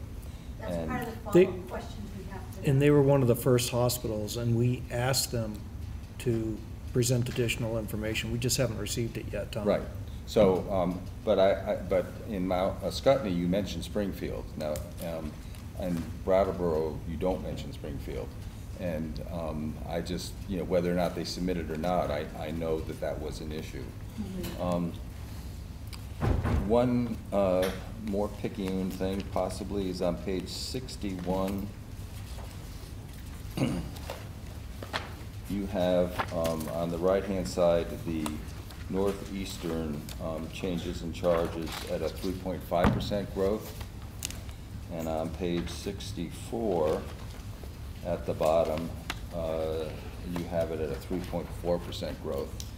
I mean, that might just be a. Oh, and the a change rou- in charge? Right. Sorry, that's- Um, Might just be a rounding error. No, thank you. And finally, more broadly, is something that would help me, um, or I think will help me, maybe nothing will help me, but, uh, is to have a uh, hospital-hospital comparison of payer mix. Because here, as you go through it, it's change in charge, and then you see commercial, Medicare, Medicaid, and, um, but that's only the change in charge. That doesn't profile the underlying paying, payer mix across hospitals. And to me, that's a huge variable, um, to know that, you know, X hospital has a sixty percent, you know, pa- payer mark, uh, commercial mix, and somebody else has a 52, 52% or a 49%, it, they are in a more difficult position. The lower the commercial piece, the more difficult position the hospital's in. And I just think that being in my face as I go through these uh, would, would would be helpful. Yeah, so in response to Brattleboro, um, we should have mentioned Springfield because they definitely are getting some utilization from Springfield. In fact, we know that the closure of the, um, childbirth in Springfield, there's a, an agreement with Brattleboro that they're, they're working together there. Um, um, Mount Ascutney was able to, I did, we're, we're looking at their budget, so we're looking for numbers. Um, Mount Ascutney was able to point to a number, um, their estimated impact on Springfield visit. Brattleboro did, did not. Um, we're hoping that when they reply to us, they'll be able to provide us with some sort of, a figure. Well, maybe their representatives in the audience will let them know. I thought we were pretty clear at the, uh, Oh, you were very clear. Hearing, You were very clear. we just have had radio silence so far. Yeah. Other questions? If not, at this point, I'm going to start asking each of the board members to share their initial observations. I'm going to start with um, Robin and just work our way down. So, Robin? Thank you. Um, Thank you to the staff. Um, I know it was a lot of work to put- together these slides, but I think you've really distilled all, a lot of the relevant information uh, for us, so thank you for that. Um, So I would say in terms of my initial thoughts, um, I am concerned that on a statewide basis, that the overall uh, NPR trend is uh, over the all-payer model target, although close to the upper end um, before we hit corrective action. Of course, it's not a perfect crosswalk. We've talked about that probably every year that I've been here for the hospital budget hearings, that um, the APM target is a PMPM. It doesn't include out-of-state residents. The hospital budget is overall growth. It does include out-of-state residents. Uh, But in the past, when we've had our consultants look at how to translate the two, um, the three and a half was a fairly good proxy, even though rough. So that does concern me. Um, With that said, we do have a lot of our hospitals who, at this point, have multiple years of negative operating margin. um, And we have expressed concern about the solvency of many of them, and Kevin has been doing lots of check-in meetings with many of our critical access hospitals in particular, but not just critical access hospitals. Um, I, in terms of the, so when I go hospital by hospital, what I've sort of been trying to, the, the process that I'm using for myself is, um, to look at the accounting changes and the provider transfers in terms of whether it represents like real growth or in the, in the case of many of the accounting changes, moving things around. Quite frankly, for me, that makes it harder to determine the real growth. But um, what I'm concerned about is the real growth that would flow through into the overall system totals. Um, So for example, uh, when I'm thinking about it is, will this number impact somebody's premium or uh, the bottom line for one of the public payers? Or is it truly uh, money that's in the system, but not really an ad- additional dollars? Um,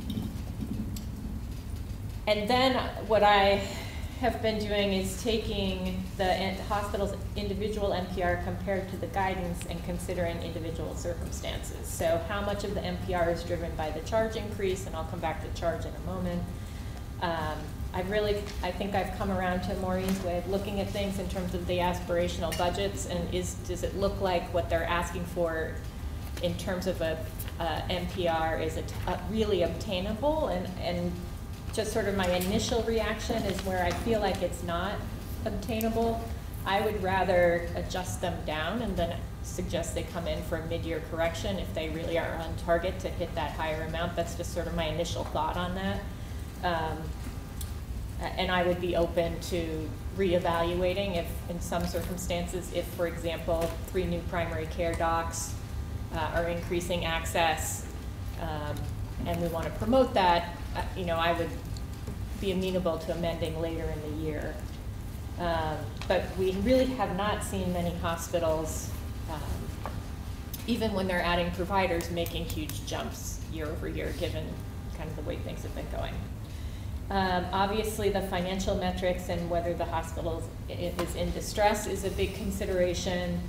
Um, And also, uh, for some of the hospitals, looking at some of the access issues, if they are hiring new providers, and it's an area that we know is, uh, had high wait times. Um, The example that comes to mind, other than primary care, would be, for example, dermatology at CVMC. I'd be willing to give a little more uh, room to grow when we know that it's an area that people really can't, are really having access issues.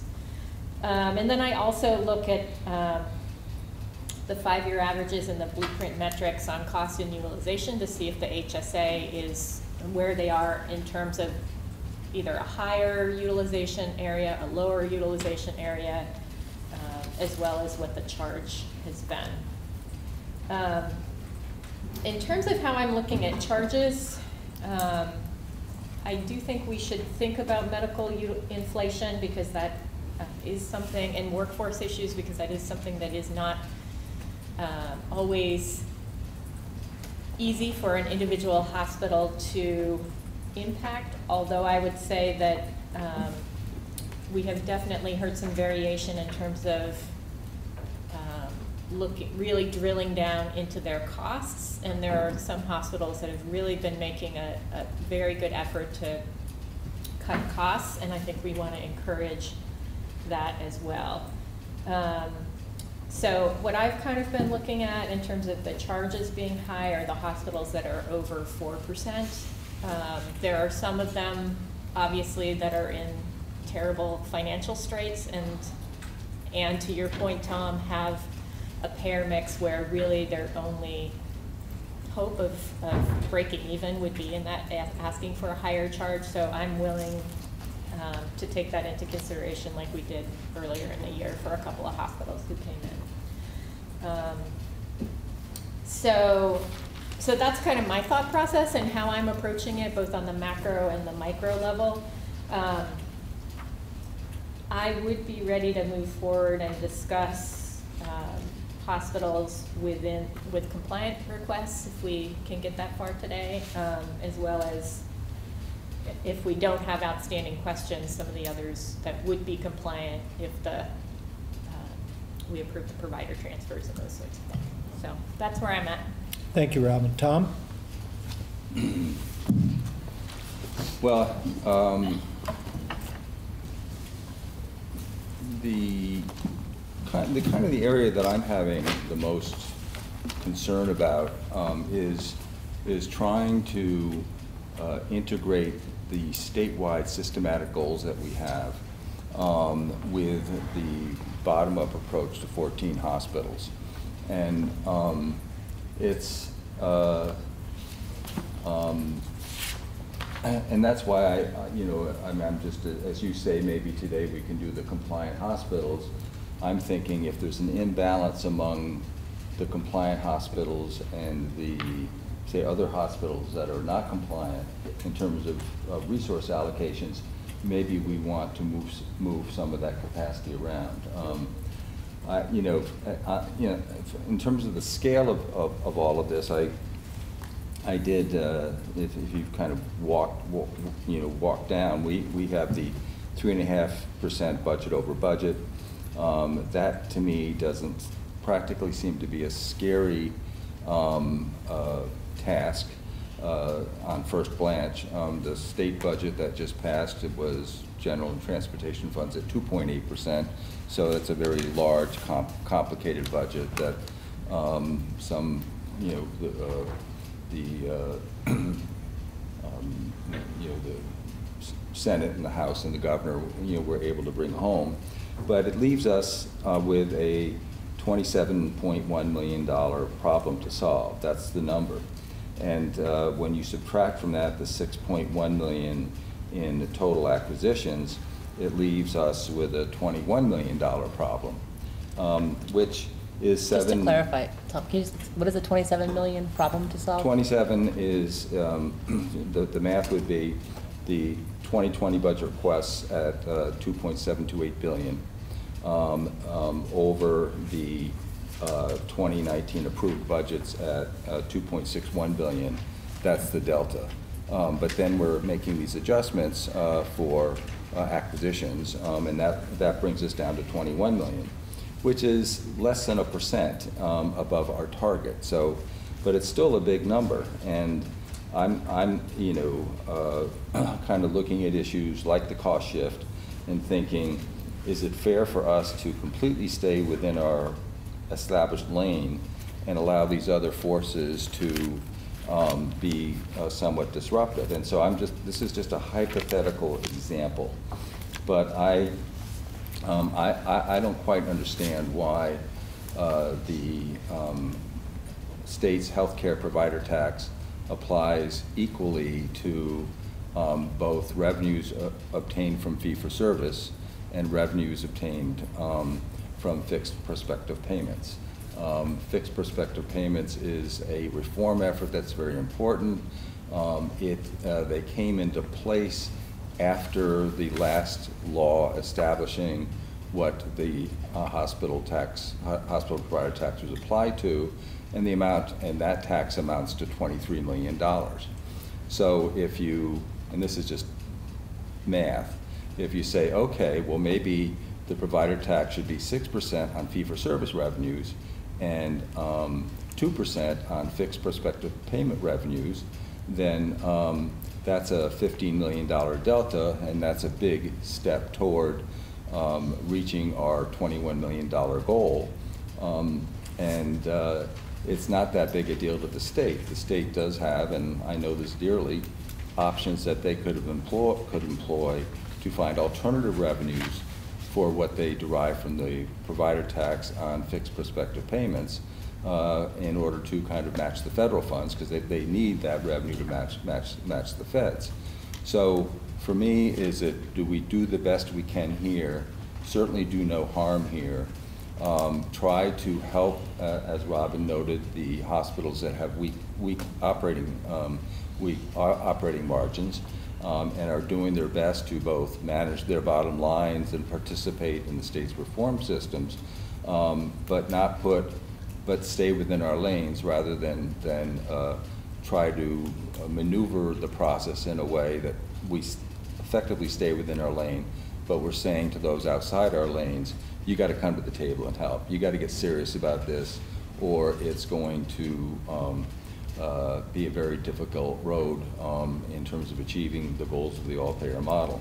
Um, and I'm also um, not uh, um, opposed to moving money around within the, I kind of look at it as there's so much oxygen in the room at a 3%, 3.5% level, and um, I don't think that the submission process necessarily equally uh, kind of shares that ox- oxygen in the room, and that the board might want to move money around um, wi- with, within those requests uh, to, in my, in my biased opinion, you know, help the smaller hospitals um, at the expense of, of those that are relatively well-heeled. And I ac- actually, uh, the ideas that I have, I kind of put down here in a little spreadsheet. Um, And since we can't, Kevin mentioned at the beginning of the meeting, we can't talk about this stuff, so here we are. Uh, I can talk about it here, and I'll hand that out to you folks, and uh, you can do with it what you will. Can I just ask a question about? Certainly. Or do you want me to hold that? No, go ahead, if it's clarifying, go for Yeah. it. Yeah, Robin, think- I remember you sitting next. So I'll be calm. Be calm. Um, So, on the, just on the provider tax stuff, I think, um, and I know you were giving that as an example, just an example, but there, there is very complicated federal regulation related to it, including requirements that it be consistently applied. So I think, um, for things like that, and it's my lawyer training, I, I like, I know you're using as an example to say the state has a mechanism potentially, and just potentially, to look at it, but, like, I'm not really comfortable banking on that kind of a thing, particularly not around the provider tax without, uh, legal analysis, because it is, it is complicated. Um, but that was my comment. My, my question is, can you talk a little bit about what you mean about moving money around? Because, um, I, I think what you're saying is, um, granting requests that might be above the target or higher charge for, at, for an individual hospital, um, which which means we're not uniformly applying the three and a half? But is that what you mean? Because to me, it's, it's not like there's real money to take from one hospital and give to another. It's not like there's a bank account where we can say, hey, let's withdraw from this bank account and put it in that bank account. It's, it's projected, uh, projected utilization. The charge is obviously more firmer because that can then, depending on how the negotiations with the insurer fall out, those get put into contracts and then memorialized. But with the utilization, there, it is somewhat um, unpredictable in the sense that it's, it's a projection and your provider practice patterns really matter there. So. So I um, just, I wanted to understand that better. Right. So let me just go to your first one real quickly. Yeah, the sure. issue that you raised. Um, So I, I look at what happened on June thirtieth, uh, uh, uh, nineteen, um, uh, um, last year. Mhm. And um, at the end of the year, there was the reconciliation of Vermont Health Connect. Mhm. And uh, from that process, there was seventy-eight million dollars that was extracted, that wasn't used once they were able to reconcile the uh, eligibility records. Um, And uh, that money was moved out of Medicaid, uh, the global commitment appropriation, into the general fund. It's seventy-eight million dollars. It increased the human services caseload reserve from twenty-two million dollars to hundred million dollars. Now, that was money that was originally appropriated by the legislature for Medicaid. That's what it was there for. And, um, and they didn't need it, and so they not only, um, moved it to the general fund, they moved all of the state healthcare resource uh, funds to the general fund.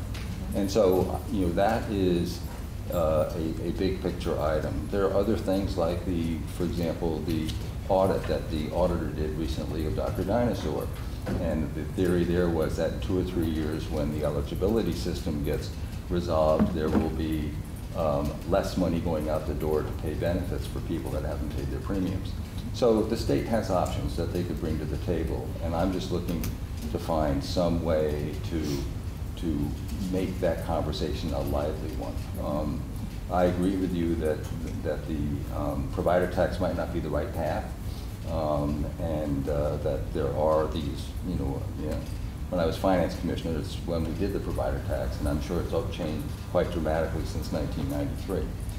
Um, having, to, uh, you know, looking at your, asking second question, I would, I mean, I'll be very frank here. I look at um, the UVM Medical Center, and I see that, well, we re-benchmarked them by $38 million um, for 2018. Um, They came in with a budget that requested $19 million um, for 2019, and they passed that by another $23 million, and now are into 2020 looking for another $52 million. That's capacity that en- engages um, a commercial rate change. So um, I'm, I'm, I'm not um, averse to exploring whether or not uh, UVM could live with a 2% rate change. Um, They've had very good years. You look at the history of their operating margins, very healthy. Um, A a great institution. Um, They've done wonderful things uh, in terms of helping to start OneCare. Um, So, you know, there's a lot of, of- um, applause that's deserved there, but I'm then looking at like a place like Gifford. Okay, they came in with a request. Their bottom line request is very tight. It's clear that they have made the tough decisions over the last year and a half, two years to rebalance their budget and to put themselves on, on a better trend. I wouldn't mind giving them another half a point in their commercial rate that they didn't ask for, just to say, good job, folks, or a hospital that is struggling to put, put together reserves in, in order to join the ACO, one of our top priorities, to give those hospitals that are struggling um, to uh, find the reserves uh, uh, a little extra. Uh, Just to give you a sense of scale, is that one point of, on the, um, um, so- so, so the, the, the four points that UVM is asking for on, on, in their commercial charge is equal to twenty million bucks. That's five million dollars a point. If you gave all the other thirteen hospitals a one-point increase, that comes to six million dollars.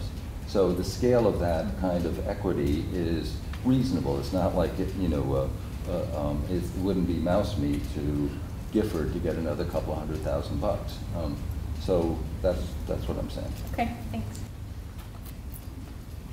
Okay, Maureen? Thanks. Um, First, I just wanted to acknowledge and appreciate all the hard work and effort, um, both from our staff, but also from all the hospitals. Um, You know, it's clear that meeting, you know, the patient and community needs are really the primary driver for what's generated by the hospital requests. To kind of start to lay out where I'm thinking, I want to look at back at 2019. Overall, the 2019 projection to budget is only a 0.1% variance, so pretty much right on target. However, 10 of the hospitals are short of projection, and two are significantly over, and that's what's making up the 0.1. When we now look at the 2020 requests, eight hospitals are requesting higher than the guidance, which is either the 3.5% or the 5% if they were 2% missing on their projections. The two that are over this year are two of the ones requesting, but the other six um, that are, of the other six that are requesting, five of those are missing their budgets this year. So they're missing budgets this year, they're asking for more than what we were looking for for next year. And I will say it again, but several of these do seem aspirational in what they're asking for. When we now look at operating margin, in 2019, all the hospitals were projecting positive operating margin.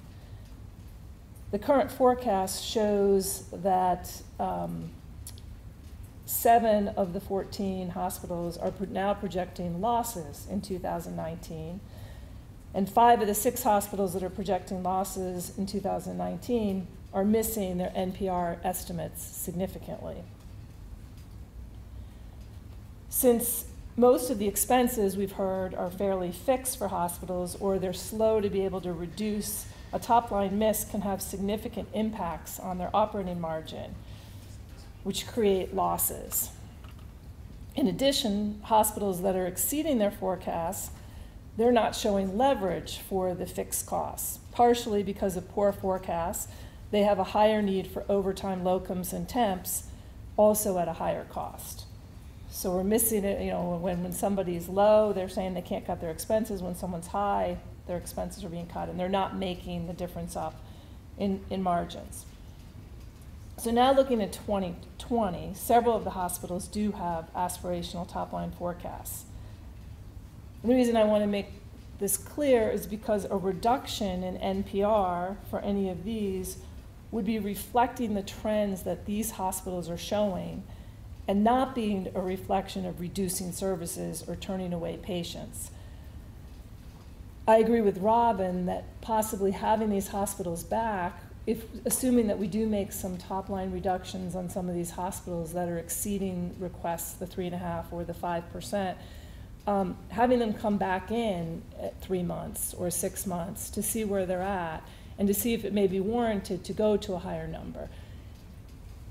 The point there is some of these hospitals, it looks like they're not going to hit these numbers based on their forecasts. They're building their expenses to these forecasts, and then they're going to continue to have losses, which is a really big concern because it's really critical that the hospitals will align their spending and expenses with, an ex- with a realistic top-line forecast.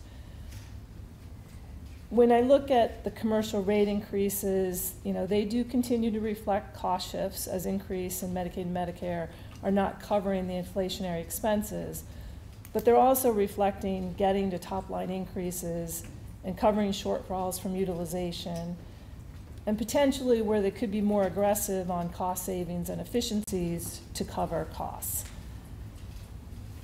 So overall, you know, net-net where I'm, where I'm looking at is, you know, I I see a challenges in many of the hospitals with continued loss in operating margin. And need to look at, you know, how we can change that. And some of them are asking for high increases in commercial rates. We may need to, you know, look at those and approve those this year to get them back on track. But really focusing on, is their top line still achievable? And, you know, I believe when we go through several of these individually, that they didn't really, to, they didn't prove their case to me that that's where their top line was trending. And I think that's really important, again, for the fact that continuing to have high top line, they can't cut their expenses and they have losses. Um, You know, some of the others that are over, I do think it's important to look at the facts that people are moving, you know, getting their higher level of care, you know, potentially at the bigger hospitals, you know, that may warrant to have a higher increase year over year. Um, So I'm willing to look at those things as well. You know, I think um, particularly with the UVM network, that they under forecasted where they needed to be in 2019. Um, I do like the chart that the staff showed about where that would be if they had come in at the, I look at it as if they had come in at the 3.2%, we would have given them, you know, they're about 1% over in total between the two years.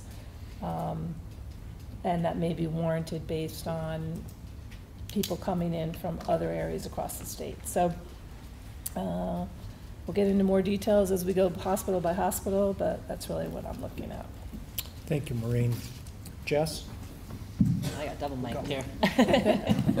All right, well, I guess, like everybody else, I want to extend thank you to the team. I know that Patrick not being here, but that everybody here uh, has done a lot of work, and it's really appreciated. And this slide deck is so comprehensive. I think it's the best slide deck we've had as a summary of the hospital budget hearing process. And I'm, I'm grateful to it. I also just want to extend a thank you to VAHHS because um, they've provided some supporting materials to us in this hospital budget process related to the case mix, but also related to the Medicaid and Medicare uh, recent changes in reimbursements, and that's helpful. And I, I wanted to appreciate extend my appreciation for that. Uh, overall thoughts. We all have these overall thoughts. Um, tough time to be in the hospital business. Tough time to be in the regulatory business. Uh, I would say. And I think about this and I think about a big picture. You know, we're at this place where the Vermont population is shrinking, it's aging, we've got chronic disease, mental health needs, you know, commanding more resources. We have these workforce shortages that are driving up wages, pharmaceutical prices are skyrocketing, public payers not keeping pace with inflation. And the result, as we've just seen, is that half of our hospitals are projecting negative operating margins for 19. Only three are going to generate at least a 2% operating margin for this year. And I look at that as not really enough to build reserves for future investment. One hospital is going through bankruptcy. So I think what we do this year will really matter. And I think we have to tread lightly. And I think we have to think clearly about hospital solvency in our short run decision making. So we may have to, as others have said, approve some higher NPR and commercial rates than we had originally hoped when we set out our guidance. Um, but I also think, and this is to Maureen's point too, that we need to start asking and maybe requiring our hospitals to engage in some really long run, serious strategic planning over the next year. I think what we're learning and seeing is that maintaining the status quo is not going to work given our demographics and our, our growing cost trends in the industry. So, what I, one of the things I'm going to recommend is that we ask hospitals, especially those struggling financially, to submit plans for achieving sustainability. Um, I'll talk about more what I mean in that in a minute. Um, when I think about specifically after the adjustments, uh, assuming that we approve all of those, the NPR fixed payment increase is 4.7%, which is over our guidance of 3.5%. What I'm hoping is that there are going to be some adjustments downward coming in in the next day or two as a result of new information that um, has been, you know, received by the hospitals since their original uh, submissions and based on recent rounds of board questions, and I'll give some examples.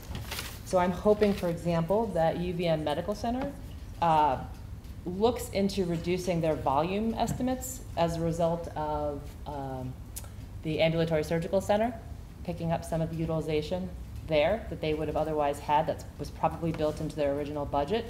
And also uh, EMR productivity losses. UVM did not make any adjustments for EMR productivity losses. And I think that there potentially could be some, and I know that was one of the board questions that went out. So there's a, perhaps a downward adjustment that we might see from the hospital themselves on volume. Uh, I think Northeastern, my hope is that there was also a board question around could there be some initiatives to lower some of their unnecessary ED volume and thus, therefore, some of the NPR?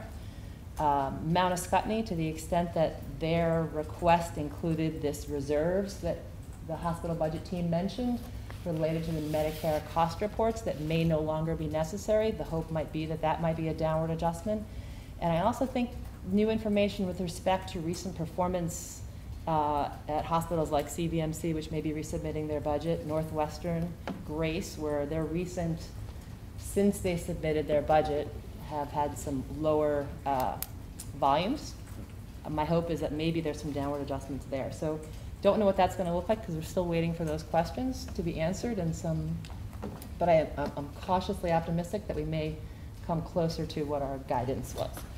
Uh, I also think that we need to think about some of the hospitals that are coming up over their, up over our guidance, but are doing that because they're meeting needs in their communities, such as, for example, Mount Ascutney, to the extent that they're adding three primary care practices, that is supportive of the all-payer model and expansion of primary care, which we know lowers overall costs in the long run. So it's, it's not necessarily a provider transfer, because that, uh, those providers didn't previously exist in the community, but how we think about that as we're looking at NPR, I think, um, is gonna be important. When we think about the average change in charge, so the average change in charge is three point two percent, which is actually under medical inflation. If we think about medical inflation as about four percent. So that tells me, to some degree, the hospitals are really trying to keep care affordable. And so for the most part, I see the charge requests as reasonable. We have to acknowledge medical inflation. Holding charges below medical inflation year after year is going to compromise the hospital's ability to remain solvent and to provide care. So there are two hospitals whose charge requests appear high, higher than medical inflation. It's Northwestern and Copley. I think Northwestern's around six percent and Copley's around ten percent. But I think as the hospital budget team laid out, when you look in the context of historical rate reductions that we've imposed in the past, those requests actually are reasonable in my mind, um, given their history in the past five years. I do want to say that I am concerned about those hospitals whose five-year average charge or commercial rate increases have been greater than, you could pick a number, but four and a half percent, five percent.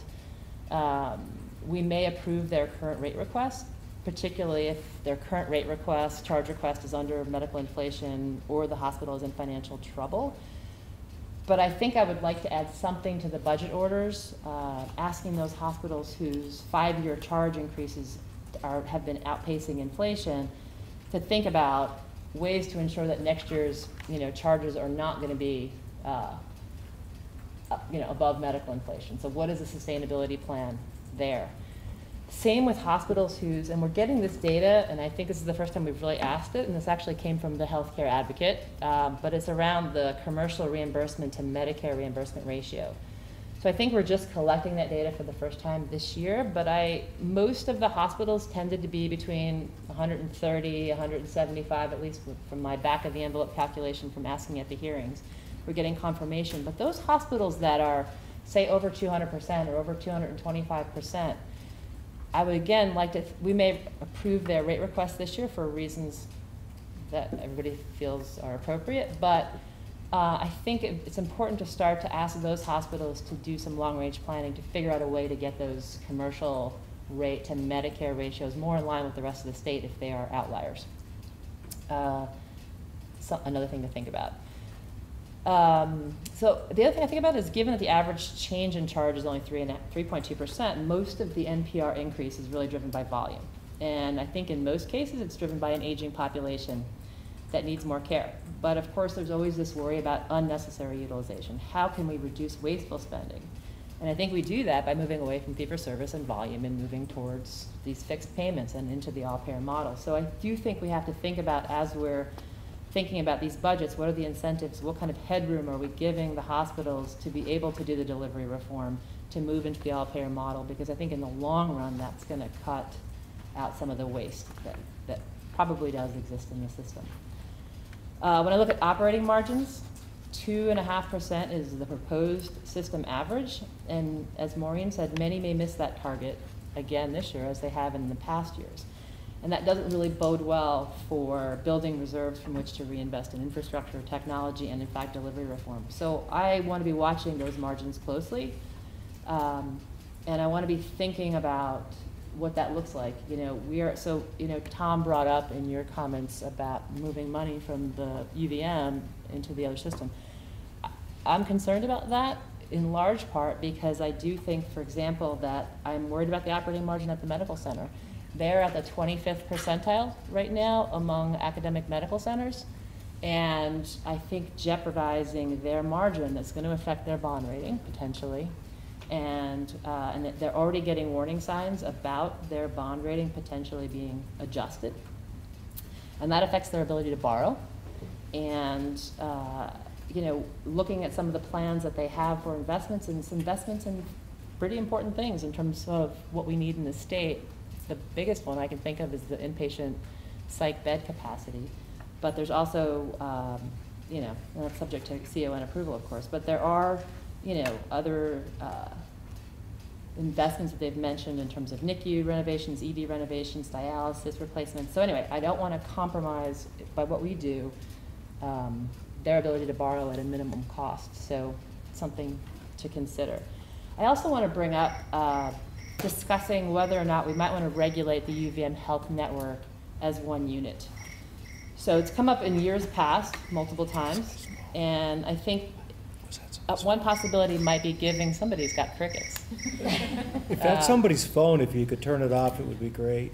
Um, so cricket. an idea here might be, and I think we've talked about this in the past, but giving UVM Health Network a total NPR with a related overall weighted average commercial rate. They work it out internally to ensure overall compliance with our regula- regulation there. But this gives them the flexibility to be more efficient, I think, within their network, especially under a fixed payment system. It should incentivize them to move patients to where the care is most appropriately delivered and let the dollars then flow with the patients. It also may allow better leveraging of economies of scale across the whole network. So I think we'd still want to request information about every hospital, but regulating them with one NPR and one commercial rate might uh, actually increase efficiencies and, and lower costs, possibly. And what else did I want to say here? I do want to just talk briefly about, um, some of the hospitals really do seem to be examining the appropriateness of their service lines and opportunities for cost savings. And Northwestern and North Country come to mind. Many of them are looking for ways to collaborate and share services to increase access, lower costs, and maintain quality of care. Brattleboro, Ascutney, and Springfield, and those collaborations, Southwestern come to mind. But then there's some hospitals that are not doing this and may have a long road ahead. And I worry a bit about those hospitals. And I worry about low volumes, and I worry about quality outcomes at some of our smaller hospitals if the populations are declining. And I, and I'm, as others have said, I'm thinking that some of these hospitals have not done as much cost savings initiatives as I think they're gonna need to do. So I think in this year's budget orders, it might make sense to ask some of the smaller hospitals, particularly those with near zero or negative operating margins, to submit plans for sustainability. Perhaps a justification for current service mix so that we can understand, are they delivering the services they should be most cost effectively and high quality, and are they moving towards uh, a cost structure that's sustainable in the future? So I think it would help inform the rural hospital task force that Robin's doing to the extent that we got more information from them sooner. Well, we'll be Um, done by January. Okay, you'll be done by January. But I think, uh, I think we need to start moving. I think we need to do some care delivery system optimization as a system to really figure out how we can do this. And the last thing I'll say is I do think we need to move towards a process that at least factors in risk-adjusted total cost of care per capita by payer as part of our process. And if we want that metric to be in the next budget cycle, we need to start thinking about that, how to get there this fall. So putting together a working group that could start to do that would be really helpful. As we saw this year, NPR is one metric that we can use, but it doesn't account for the movement of patients. And we're seeing patient movement, we're seeing demographic shifts, we're seeing people moving from rural areas to the uh, Chittenden County area. Mobility of patients doesn't necessarily, is not reflected well in how we measure NPR. So we need to start thinking about that. Those are my thoughts. Thank you, Jess. So I guess I'm last. Um, You know, there's so much um, conflicting ideas and information as we look at uh, the submissions this year. And we look at an environment where the state of Vermont as a whole, um, by some measures, is doing okay. And yet you look at um, the disparity between regions of the state of Vermont and the institutions in some areas of the state of Vermont where the economy has been stagnant are in a downward spiral. And it doesn't matter if you're a hospital or a college where we've seen a few closings, or a church, or what have you. It continues to um, be a very dismal place to try to make numbers work. So on the one hand, um, you don't want to reward smallness. You don't want to reward inefficiency. Um, you want people to gain economies of scale. But you also don't want to foreclose a community's chances for success either. And so that um, has played deeply in my mind, and I look at what we've seen um, with 107 hospitals closing nationwide. Uh, I think many people in Vermont thought that we were immune from that, but Springfield, I think, uh, brought some reality to the fact that we're not immune. I think that change is difficult, and just as it is for members at uh, an institution of higher education, it's equally difficult for members at a hospital. And I do want to um, say that I do think that with what people saw going on around them, I want to applaud those community members from around the state who have stepped forward and are serving on their, their local hospital boards because I think I've seen much more involvement this year than I have in the past, especially when we looked at out in the audience this year at the different hearings. We saw um, a lot more participation by board members than we have seen in the past. And I think that's a very healthy thing because boards have to know just how um, desperate a situation can be in an institution that they're serving for. So a number of things have been brought up today, and I think that over time, the network should be viewed as one entity, and that makes sense. Um, I do think we have to move away from our conventional metrics, more towards um, what the actual cost of care is in an area, and then try to help people um, get there, because it can't happen overnight. And I'm not fully convinced that the risk adjustments that have been made are truly the accurate risk adjustments to be made that measure everything, because communities are dealing with so many different things, whether it's age demographics, obesity, um, addictions, um, economic prosperity. If you are struggling to pay your bills from paycheck to paycheck, you're probably not buying the most nutritious of food. So there are so many things that are facing us as we get into this decision-making process at the end of the day, I hope that the decisions we make as a board show fairness and equity. And that doesn't just mean that everybody gets the same. So I have bought into a couple of arguments. I do think that there were over adjustments to a couple of hospitals that should be addressed. And so it, it's not so much whether it's a 9.8 or a 2%, but it's really over time and where someone is in the, the, the total cost of care continuum. And I think that a couple of hospitals have adequately demonstrated that they are low-cost providers. And so um, I'm willing to um, take that into account in the decision-making process. The most important thing, though, is we created rules of the game. And the rules of the game were in the guidance. And I would hate to see us um, not uh, approve those hospitals that strictly played by the rules of the game and are managing to that guidance. So I hope that there's some low-lying, low-hanging fruit that could be knocked off fairly early in this process. And we don't have a lot of time in the process, and that's one of the frustrating things.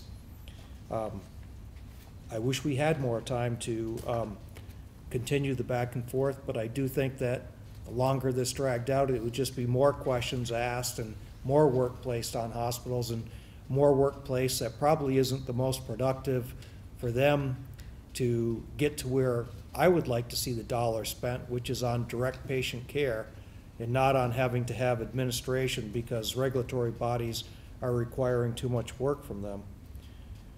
So, um, long story short, I think we have some pretty tough decisions ahead of us. Um, I do think, and I have agreed with Maureen from the beginning, that uh, budgets should be adjusted if they're just not realistic. And I know you put it in a much nicer language than that, um, but that's kind of where I'm coming from, that it, you know, the budget should be real. And so, uh, with that, I would actually hope that we could make some progress since we are way ahead of time. Um, Maybe we could open it up to public comment first and then possibly um, talk about a few, what I would call low-hanging fruit hospitals. So at this time, I'll open it up to public comment. Yes, Walter? I just wanted to say, Your name, more please? comment, Walter Carpenter, Montpelier. I just wanted to say that uh, Jessica and Kevin were right about this is, the status quo is no longer good enough anymore. And we're seeing things falling apart in a sense, as a, to paraphrase a writer that I read, collapse overall, not just with hospitals, and that thinking within the status quo is only gonna get us more ready. So that's glad, I was glad you recognized that. Thank you, Walter. Anyone else? Jen? Um, if the board would allow. Your name, like- please, I can't see you. Your I'm name. sorry? Could I have your name, please? Your name and, and city of residence. Um, I would like the opportunity, if possible, to work with the staff in terms of the interpretation and information, particularly on slide number seventy-seven for Porter Medical Center, if possible, prior to Monday. Um, and just realizing that there were some very recent changes to Porter's projection right before our hearing due to the Medicare uh, settlements and cost report refilings and things of that nature. Um, so it would be great if I could have that opportunity to work with the staff. Yes, that's granted. Thank you. I also want to take the opportunity to thank members of the board and members of the Green Mountain Care Board staff for their collaboration and partnership in trying to resolve um, the cost reporting settlement issues that the critical access hospitals that were participating in Medicare for the 2018 fiscal year have faced. So I do appreciate it and want to thank you for that. Thank you, Jen. I, I- I know that uh, um, the whole board is very grateful for all the uh, help that you have given us in the past year, um, trying to get to the bottom of uh, Medicare cost reports and everything else, and you've always stepped forward and been very gracious with your time, so thank you. Other, mem- Mike? Mike Fisher, healthcare advocate. Um, Predictable comment from the healthcare advocate, fill in the blank. Um, um, It's easy for consumers, for Vermonters to focus on affordability in the insurance rate review process. Uh, And I know the statute calls for that and doesn't call for it here. Um, But significantly, the costs, so everyone knows this, the costs associated with the rates for the insurance companies start at the hospital budget process.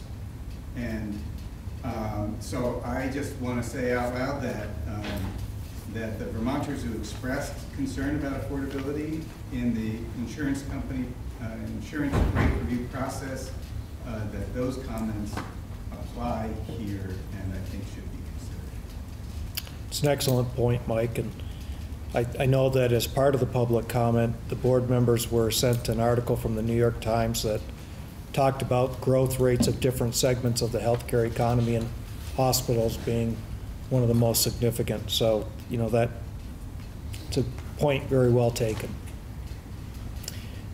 Other comments from the public?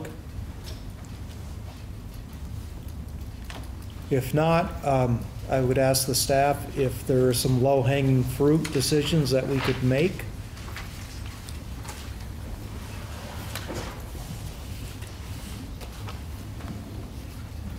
Yes, there is. We we would like Abigail to help us. Next slide.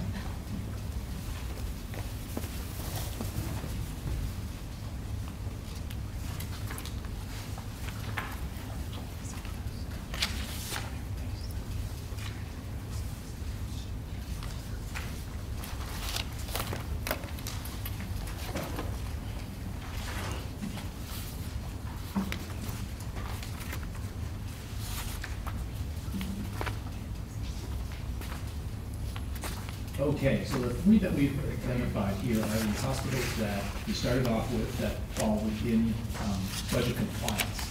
And those would be Gifford, Rutland Medical Center, and Springfield Hospital. Um, So this is our recommendation for Gifford. We have no provider transfers or county changes to discuss. Uh, Their budgeted NPR is a six point three percent reduction um, from prior year, and they're missing their target a little over eight percent. So we feel that um, that budgeted number is appropriate. They are recognizing the shortcomings in utilization and hoping for, or planning for uh, utilization recovery, um, as Agatha spoke to. Uh, They're forty-two percent above their fiscal nine, nineteen projection. Thank you very much.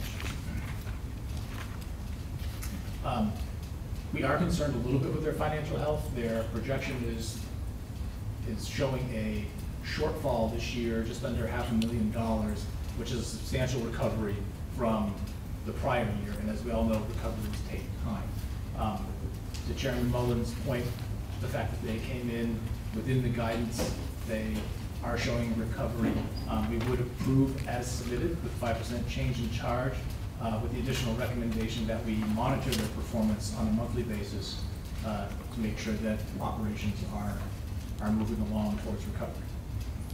So this is a hospital that uh, we have been monitoring monthly, and I want to thank uh, Dan Bennett and his team there. They've been very faithful at presenting information to us, um, whether it's information we want to hear or not, and um, that's important. And I think, uh, you know, this is also one of the hospitals that create so much conflict for me personally because I see them as a high-cost provider when you look at the different metrics. But I also know how hard they're working to try to make it work for their community. And so, um, this is one that I could certainly support. Anybody else, any comments? Anybody like to make a motion? I was just going to make a quick comment. I, I can support this as well. Um, I just want to add, though, that again, this is a hospital that's, uh, their five-year average of rate requests has been high, above medical inflation. So one of the things I would like to see, I'm willing to approve it, but I'd like to see something added to their budget or, order that asks them to do some sort of sustainability plan, um, whether that's looking at the appropriateness of service lines, looking at ways in which they could uh, collaborate with other institutions, share services, find opportunities for cost savings. This is a hospital that I worry about, and I think we need more strategic planning from them about how they're going to uh, sustain themselves. So I would approve it, but I, that would be the condition that I'd like to So impose. would you add a second condition that um, continued monitoring, but I, I think that um, this is a case where it doesn't have to be monthly, even though it's easier for them than other hospitals because they're only 25 minutes down the road. I, I just uh, don't want to waste their executive team's time on coming every month if they're not necessarily, Yeah, I think we need to reduce administrative burden where we can, but I do think we need to ask for a sustainability plan. Like, what Yep. is their plan? So, so I, I thought I heard a motion, but maybe I didn't. I thought I heard you say that you were moving to approve with a couple of conditions. Sure, yes. Okay, is there a second to that? Second. Okay, thanks. Any discussion? Uh, Just on discussion, I mean, I do think the monitoring on this hospital is important, whether it moves to quarterly or each meeting's not in person, because they've, you know, in 2018, we know they lost $5.4 million, and this year, they had a 1.4 million projection, they're losing 400,000. Next year, they have a 1.5 million projection. We know they've had covenant issues, so, um, you know, let's really see how hard it is for them the month, they do send in monthly reports, but maybe there are triggers for, you know, at least having quarterly monitoring. Um, But if they're operating at a loss, then it becomes monthly or something, because I just worried to let, let it slip too far. I think because of their, their high net operating margin, maybe bi-monthly might be the right split in between the monthly and the quarterly Yep, for fine. those meetings. Somebody hand me a mic. We got all the mics down at this end. I know, you don't want me to talk, is that what's going on? I can take it here. Um, Jess, can you just talk a little bit more about the, kind of what you're thinking in terms of timing of the sustainability plan? Are you thinking for this hospital that's specific to the charge because they, you know, they are a high-cost institution in their percentage of charges? Or are you thinking that's related to the margin too, or would you just leave it open for them, or? Um, I- So for me, I think that there's a couple of things that are driving my interest in a sustainability plan. One is the fact that the charge is five percent, which is high, you know, higher than medical inflation, Yeah. but reasonable given their financial situation. But it's also been high for several, you know, years, um, the charge requests. Their total cost of care, we know, is high. Yeah. Uh, I think it was the highest among those blueprint profiles and what we've seen. So there's that aspect to how are they going to, you know, reduce their cost of delivering care. And I think to the degree that they start to look at their service mix and the appropriateness of it and whether they can cost effectively deliver the care uh, in their community or whether some of it needs to be outsourced. I think these are big questions that they need to start addressing. Timing wise, um, I want to make sure that our request is reasonable, that they can actually accomplish what we're asking them to do. So I think I would ask the hospital budget team maybe to speak to, this this is not the only hospital that I think needs a sustainability plan. So I don't want to impose uh, uh, a plan on them without giving them enough time to do it appropriately. So I, I don't know what that would look like. I think we'll have to frame that out and get some feedback on that. I, I think we. Kind of need to have a timeline though, don't you, Robin?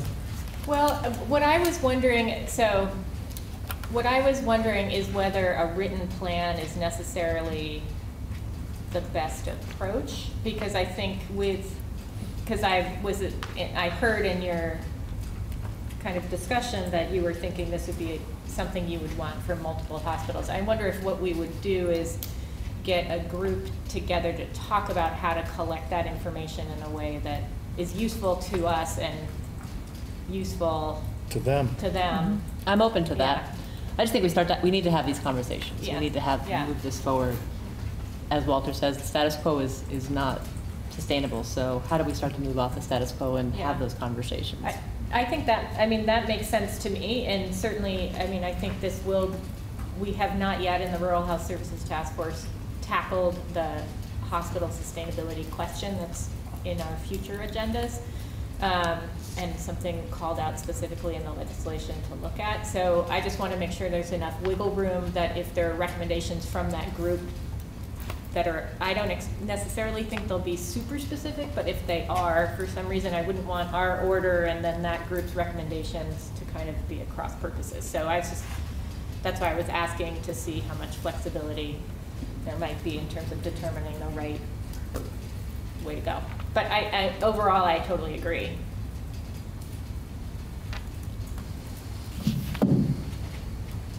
Tom? So this is the hospital that um, I think is in recovery. Uh, My observation is that as they've presented uh, to the board over time, um, they've been very uh, diligent about cost containment, and you can see, uh, see it in their um, operating margin uh, trend, uh, which from, which is still, uh, I think, uh, um, uh, you know, a, a little concerning. And, and uh, if you look at their, the, the additional amounts they expect to uh, obtain from their increase in charge is $2.28 million. Uh, They hope that their operating margin will uh, improve by $1.97 million and be in the black uh, by $1.5 million. Um, So I, I- you know, I, I can support this. This is a, um, a hospital that deserves to be um, uh, moved along, hopefully, and, and, and, and and set the stage for a better time. But um, I, I would also, this would, would be one of the hospitals that I would be sympathetic toward giving them an additional uh, quarter point or half a point, uh, um, which I don't have to spend at this point in time. Um, So I can support the motion. Further discussion? Is, is there a clear motion? Do Does everyone feel like they understand the, the conditions that have, Can I try to summarize Jess's motion Okay, and 'cause I'm see if, if. Yep. that would work? Um, So I think Jess's motion is to approve uh, Gifford Medical Center's request as submitted with two conditions. Condition one would be uh, continued monitoring of their fiscal year 20 operating performance every other month. And condition two would be, um, Just to clarify Yeah. that, that's, that's their actual meetings. Um, They're still going to have to present information every month. okay, all right, so let me revise that. So condition one would be continued monitoring with meetings every other month. Um, And condition two would be um, the creation of a sustainably, sustainability plan with the format and content to be determined through staff working with a hospital group um, as appropriate. Is that okay, Jess? Yeah. Okay. Does everybody understand completely? Is there any further discussion? If not, all those in favor of the motion signify by saying aye. Aye. Aye. Any opposed? Okay, Patrick. Thank you very much. The next hospital we would ask for approval on is Rutland. Um, There are also no provider transfers or accounting changes. Um, They came within budget guidance on NPR, three point five percent, change in charge, two point seven percent. So, again, I hate to be a broken record, but shouldn't we really be saying what they actually asked for, which is the 2.65? Correct, two point six five. Okay. We would request that they, that you approve as submitted. Um, Just to recap, they do perform solidly year to year. Um, There is concern over falling margins, and they do have investments to make. Um, And they are actively involved with the ACO and a leader in um, psychiatric care throughout the state. And there are certain capital improvements they need to make um, using some of those bottom line revenues to, to achieve those goals.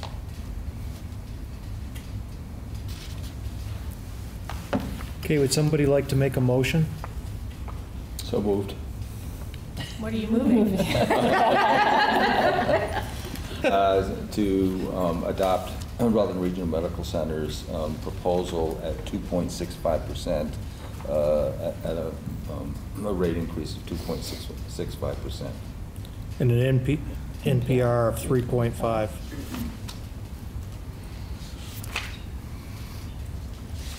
Okay, is there a second? Second. Discussion. Can I just say that the board's budget orders typically have some standard conditions? Correct. In them, and I'm just assuming, correct me if I'm wrong, that those are going to be. With, with all the standard Yes. conditions. Okay. Um, I'm happy to approve this. I just want to uh, perhaps have some language in uh, the budget order that asks Rutland to, this is one of the hospitals where the commercial to Medicare reimbursement rate was particularly high, a bit of an outlier. And I guess I would like to have them think about, uh, over the course of the year, coming up with a plan to bring that more in line, you know, over some longer period of time. So just to mention it in the budget order as something that was noted and would like, uh, the board like to see progress made to bring that more in line with other hospitals. Something of that nature. Yeah, I just want to add to that just one thing, which is, um, I think this is also one of the hospitals, though, where their payer mix is pretty skewed away from commercial. And not that it's right to have that change, but I think here's where Tom's schedule comes into play, when we at least see, you know, what percentage of the reimbursement is commercial versus um, Medicaid and Medicare because it's a little bit more of a challenge for those hospitals to make up any cost shift differential if they have a low payer mix that's commercial. So I think that's at least a factor to look into, not saying that they shouldn't do that, and I really like um, the fact of looking more at what that reimbursement rate is between the payers. Um, But I think as another factor of any hospital is understanding, because I remember they specifically, you know, brought up for them to add more and a percent increase on commercial, they don't get as much because of their payer mix piece. Um, Also for this hospital, I appreciate that they came in on guidance with both, with the 3.5%. You know, we've heard from them before how that was going to be a challenge potentially to come in, to continue to come in at 3.5% when they look at their long-range plan and what's coming into their market. And, you know, I appreciate that they're coming in at 3.5% with a relatively low commercial ask. Mm-hmm. Any other discussion? If not, all those in favor of the motion signify by saying aye. Aye. Any opposed? Patrick? Thank you. And our last hospital that we are requesting approval for is in Springfield. Um, No provider transfers or accounting changes. They've downgraded um, their budget request by over nineteen percent. Just, just to clarify though, so people in the audience don't get nervous, that the last one you're asking for today, because there are a number of hospitals where we're ans, we're waiting for important answers to questions and things like that, but still would likely have a positive recommendation. Um, so they've, they've downgraded their NPR nineteen percent, um, to reflect some of the changes that have occurred at the hospital in the last few months. They are not asking for a change in charge increase. Um, one additional recommendation that we would continue our monthly monitoring and responsibility on behalf of Springfield to report the impact of bankruptcy on their fiscal year twenty approved budget.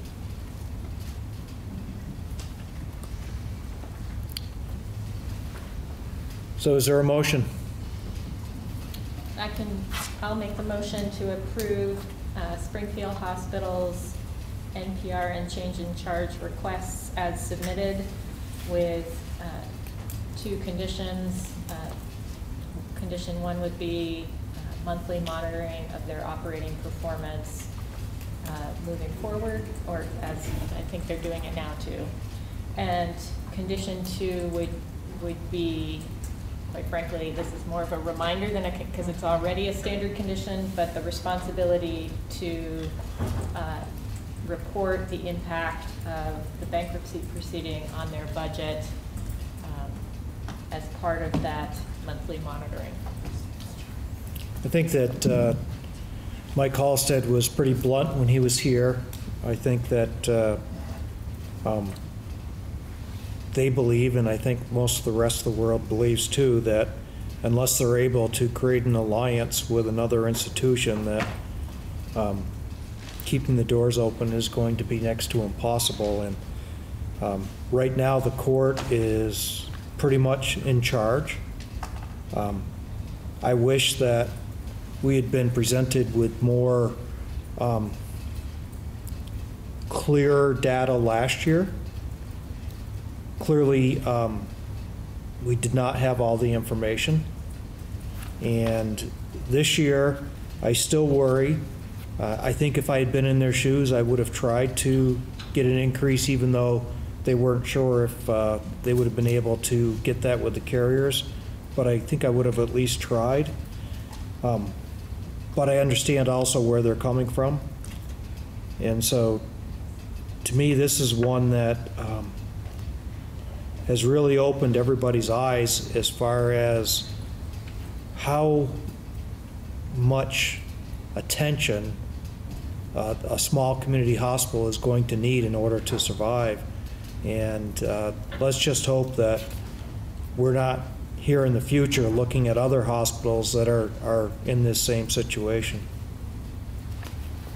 I guess I would just add that this would be a hospital that would, that I would definitely want a sustainability plan from.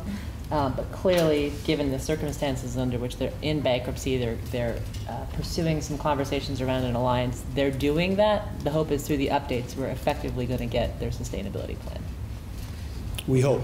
Yes, I mean, that We'll should be, I think, Reorganization plan, yeah. right, I mean, that's sort of the point of the bankruptcy, and. Right. So I think that makes sense. I just asked a question. Do we have any sense of what the reporting responsibilities are to the bankruptcy court? I'm just wondering whether our monthly monitoring and the monitoring that the bank is doing are um, kind of aligned. I think they are aligned. Uh, I think Lynn looked at it. Um, They are reporting certain financial information to the bankruptcy court. I think it's every other week. Okay, thanks. And I think that also that uh, uh, we can't delegate all of our obligations to the bankruptcy court. We still have a responsibility as a regulator to the state of Vermont and to the taxpayers in the state of Vermont to do whatever we can to help Springfield. And we'll continue to do that. And no matter what, um, make sure that the, the residents of that area will continue to have access to quality care. Uh, Just a, a comment for staff on your recommendations. For hospitals uh, like this that have a negative, uh, the 19.2% request is within budget guidance, but I would add the other piece of that, which is that they're up 0.6% to their projection, because that's really what shows us that they're within guidance, because they could have gone up to 5% off of, you know, the negative 19.2. So um, just including that as well would be helpful as we go through these. Thanks. There was no second. Second. I just- Jess seconded. Oh, I didn't hear her. I just did it. Other discussion?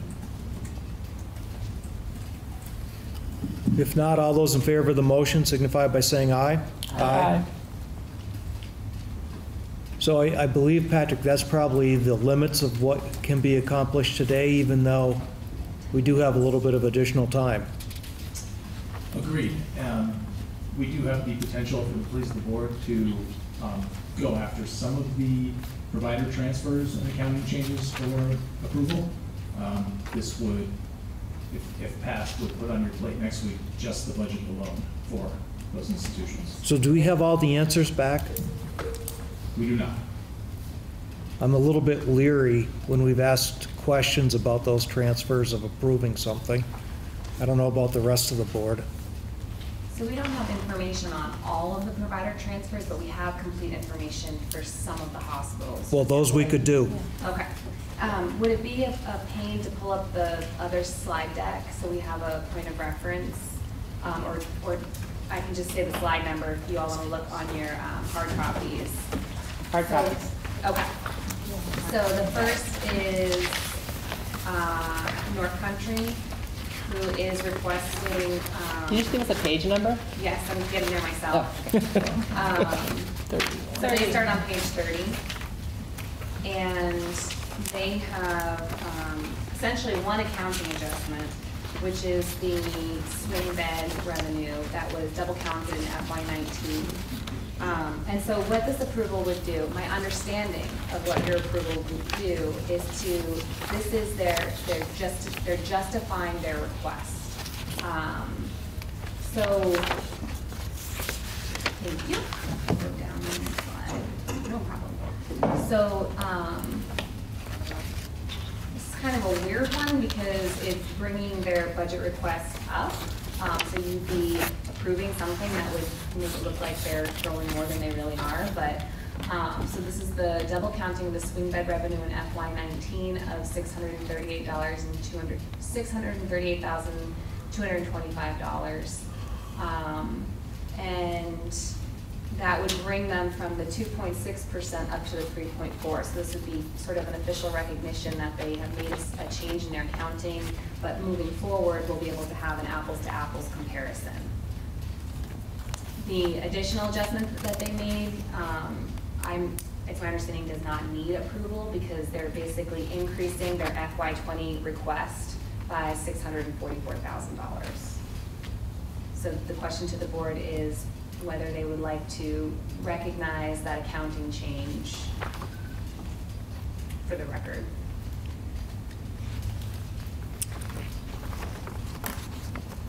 Yeah, I think that's fine. Uh, I I would reckon, I mean, from all that I'm hearing, it was a mistake, and uh, everyone agrees a mistake, there's no dispute about it. Um, So the math is what the math is, and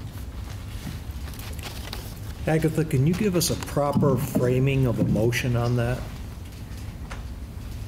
I can do my best. So, um, I have confidence in you.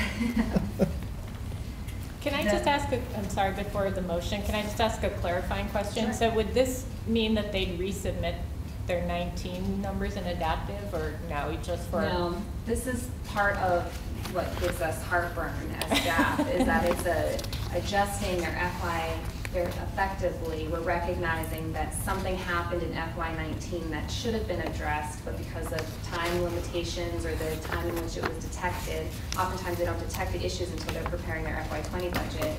Um, the only way that we can recognize it is through this sort of process during the budget hearing. Okay. So the record, um, historical record adapted will always show the two point six, but the budget order itself would be able to reflect that there was an accounting change, which actually makes the request more like three point six. We would have them change their twenty budget because they didn't account for the capitation in each incentive.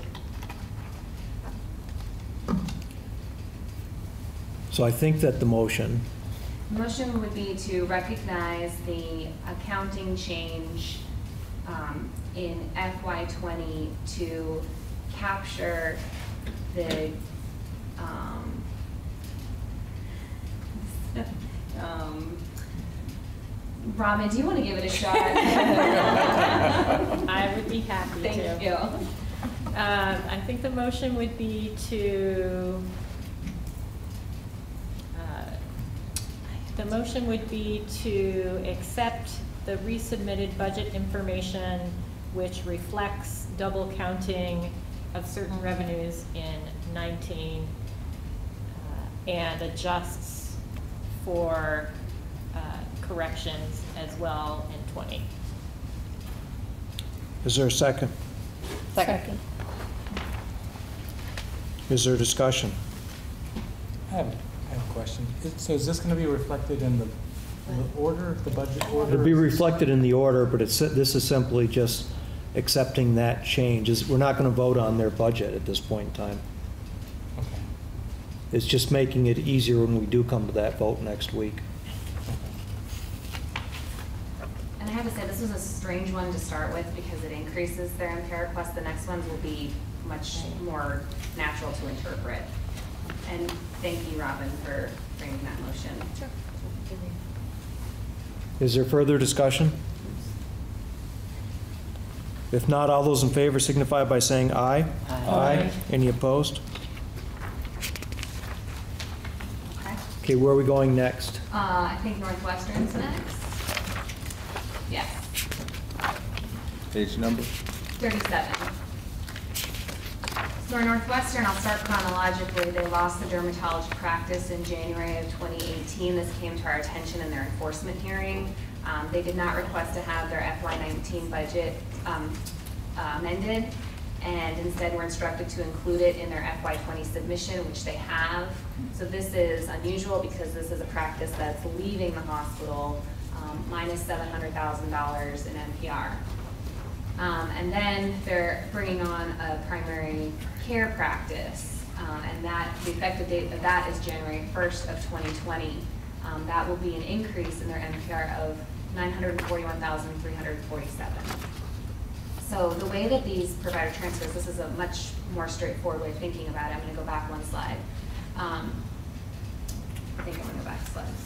The way that these work is, um, so the record adapted will always show the three point seven.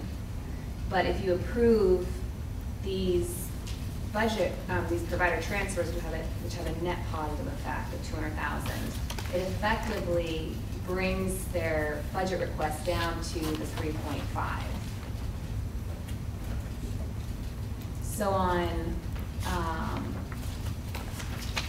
Cold Hollow, this is the financial information that they submitted, we require this in Schedule A. It has all the line items for NPR and operating expenses, and then their net operating, they're gonna lose money on this practice, but it's important in terms of how the, the hospital wants to, um, improve access to primary care in their community.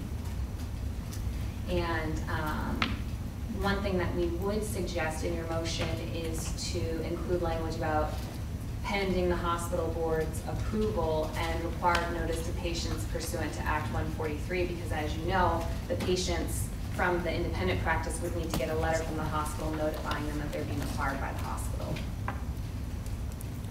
So I think what I hear the motion to be would be to approve the request on two provider transfers, one being a transfer in of Cold Hollow Family Practice resulting in a positive 941,347 addition to NPR. The second being a transfer out of Northwestern Dermatology representing a negative um, change of $711,015, with the net effect being a uh, 0.2% adjustment to the fiscal year 20 NPR FPP, with the caveats that it's subject to board approval and meeting the requirements of Act 143 as far as patient notification.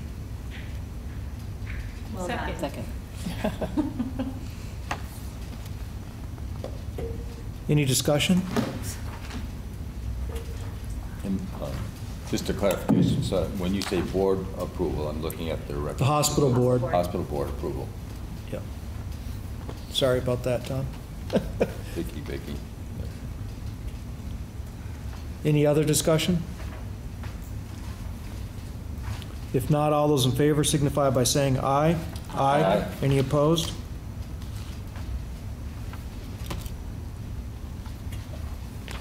Where to next? Okay, and then the last one that we're prepared to cover today is Southwestern. Porter did have um, a provider transfer, but I just want to look at their Schedule A one more time before we move forward. Um, There was um, the narrative, Porter's narrative and their schedule don't match. They have a follow-up question, which kind of ties it all together, but I we haven't had the time to just. Well, make sure- Jen's looking forward to having a conversation with you, so I'm sure that you'll be able to work it out. Just, um, yes, so, um, Sorry if you have to make another trip, Jen. So next is Southwestern, and that's slide forty-five. I thought this was the one Kevin's question was still out. Oh, yes, that is correct, so we may not be prepared. We're waiting for um, the CFO to get back to us on how much money this practice made when it was independent.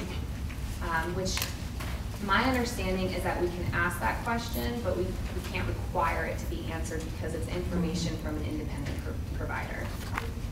That's true. But at least we should get an answer. Okay, so pause on this one. Yep. Is there anything else that could be, or is that it? No, that would be all for today. Okay. At this point, is there any further public comment to come before the board? Seeing none, is there any old business to come before the board? Seeing none, is there any new business to come before the board? Seeing none, is there a motion to adjourn? So moved. Second. It's been moved and second to adjourn. All those in favor signify by saying aye. Aye. Any opposed? Thank you, everyone. We'll see you Monday morning at nine.